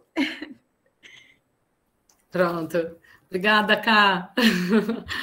vou passar a palavra para o professor Marcos Frank, a gente já está nos encerramentos. Professor, é, eu, eu, vou, vou pedir para ele encerrar né, é, a tarde de hoje e o primeiro ciclo de formação. Então, eu vou me despedindo aqui, professor Ogami, muito obrigada. Né? E aí a gente se vê numa sequência, né? Nós vamos conversar, vamos nos encontrar muito, né? E então agora eu passo a palavra para o Marcos Frank. Obrigada, Leila, e obrigada, Lucas, que está gravando essa, essa reunião, né? E agradeço a todos aqui presentes. Professor Marcos, tem a palavra.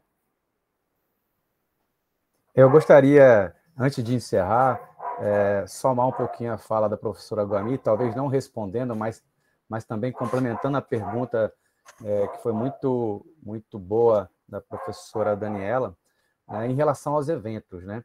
Então, a gente vê realmente, e a gente, enquanto é, comissão de extensões, também tem, é, confesso que a gente está começando a entender melhor como é que isso vai acontecer. É, e aí eu, eu, eu, dialogo com você, professor Ogami, e me, me corrija se eu estiver errado e complemente, por favor. É, por exemplo, o SIC, o Congresso de Iniciação Científica, né, que é uma obrigação institucional, né, tem que ocorrer por diversas razões. É, aí eu pergunto, o SIC, é, pergunto a, a, a, a, você, professor, e aos colegas, vamos refletir junto. O SIC, ele é um evento de extensão? Qual o objetivo do SIC? Ele é feito para quem?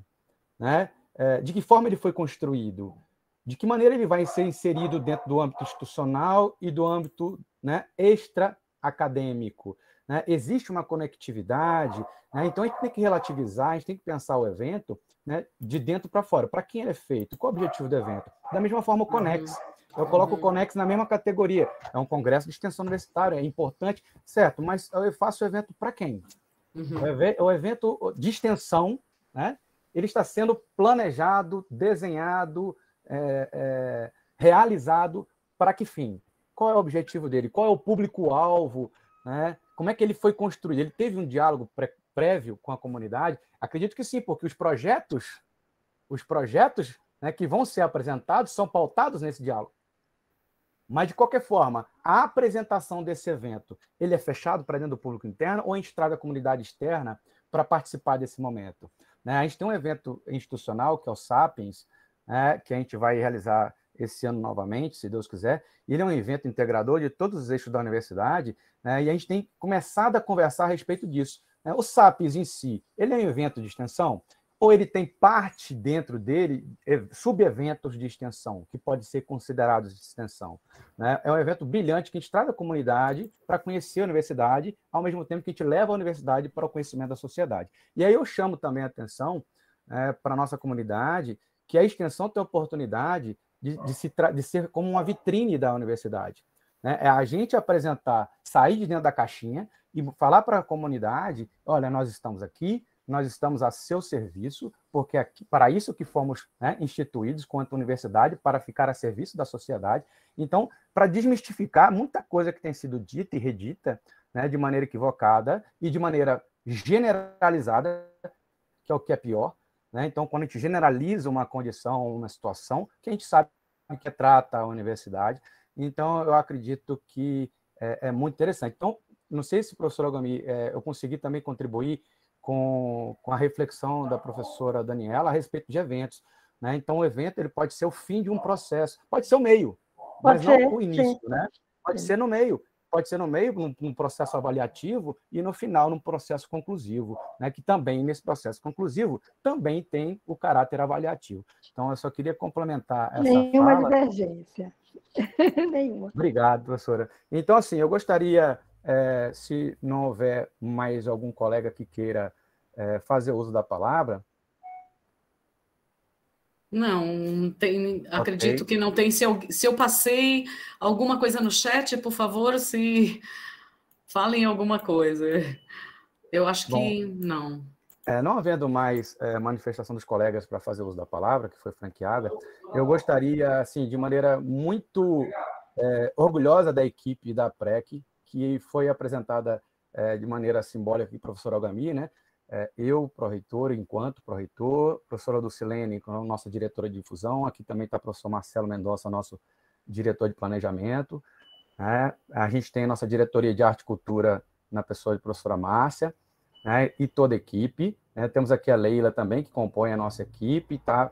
Né? e todos que contribuíram para a realização desse ciclo. Hoje a gente está encerrando um ciclo que iniciou num, em outro evento institucional, que é o Integra, o FAP, que também é um evento né, que teve por objetivo a recepção dos alunos, né, e a Pró-Reitoria de Extensão se fez presente desse evento da PREG, né, da Pró-Reitoria de Ensino e Graduação, apresentando, né, tratando do tema curricularização com a nossa comunidade.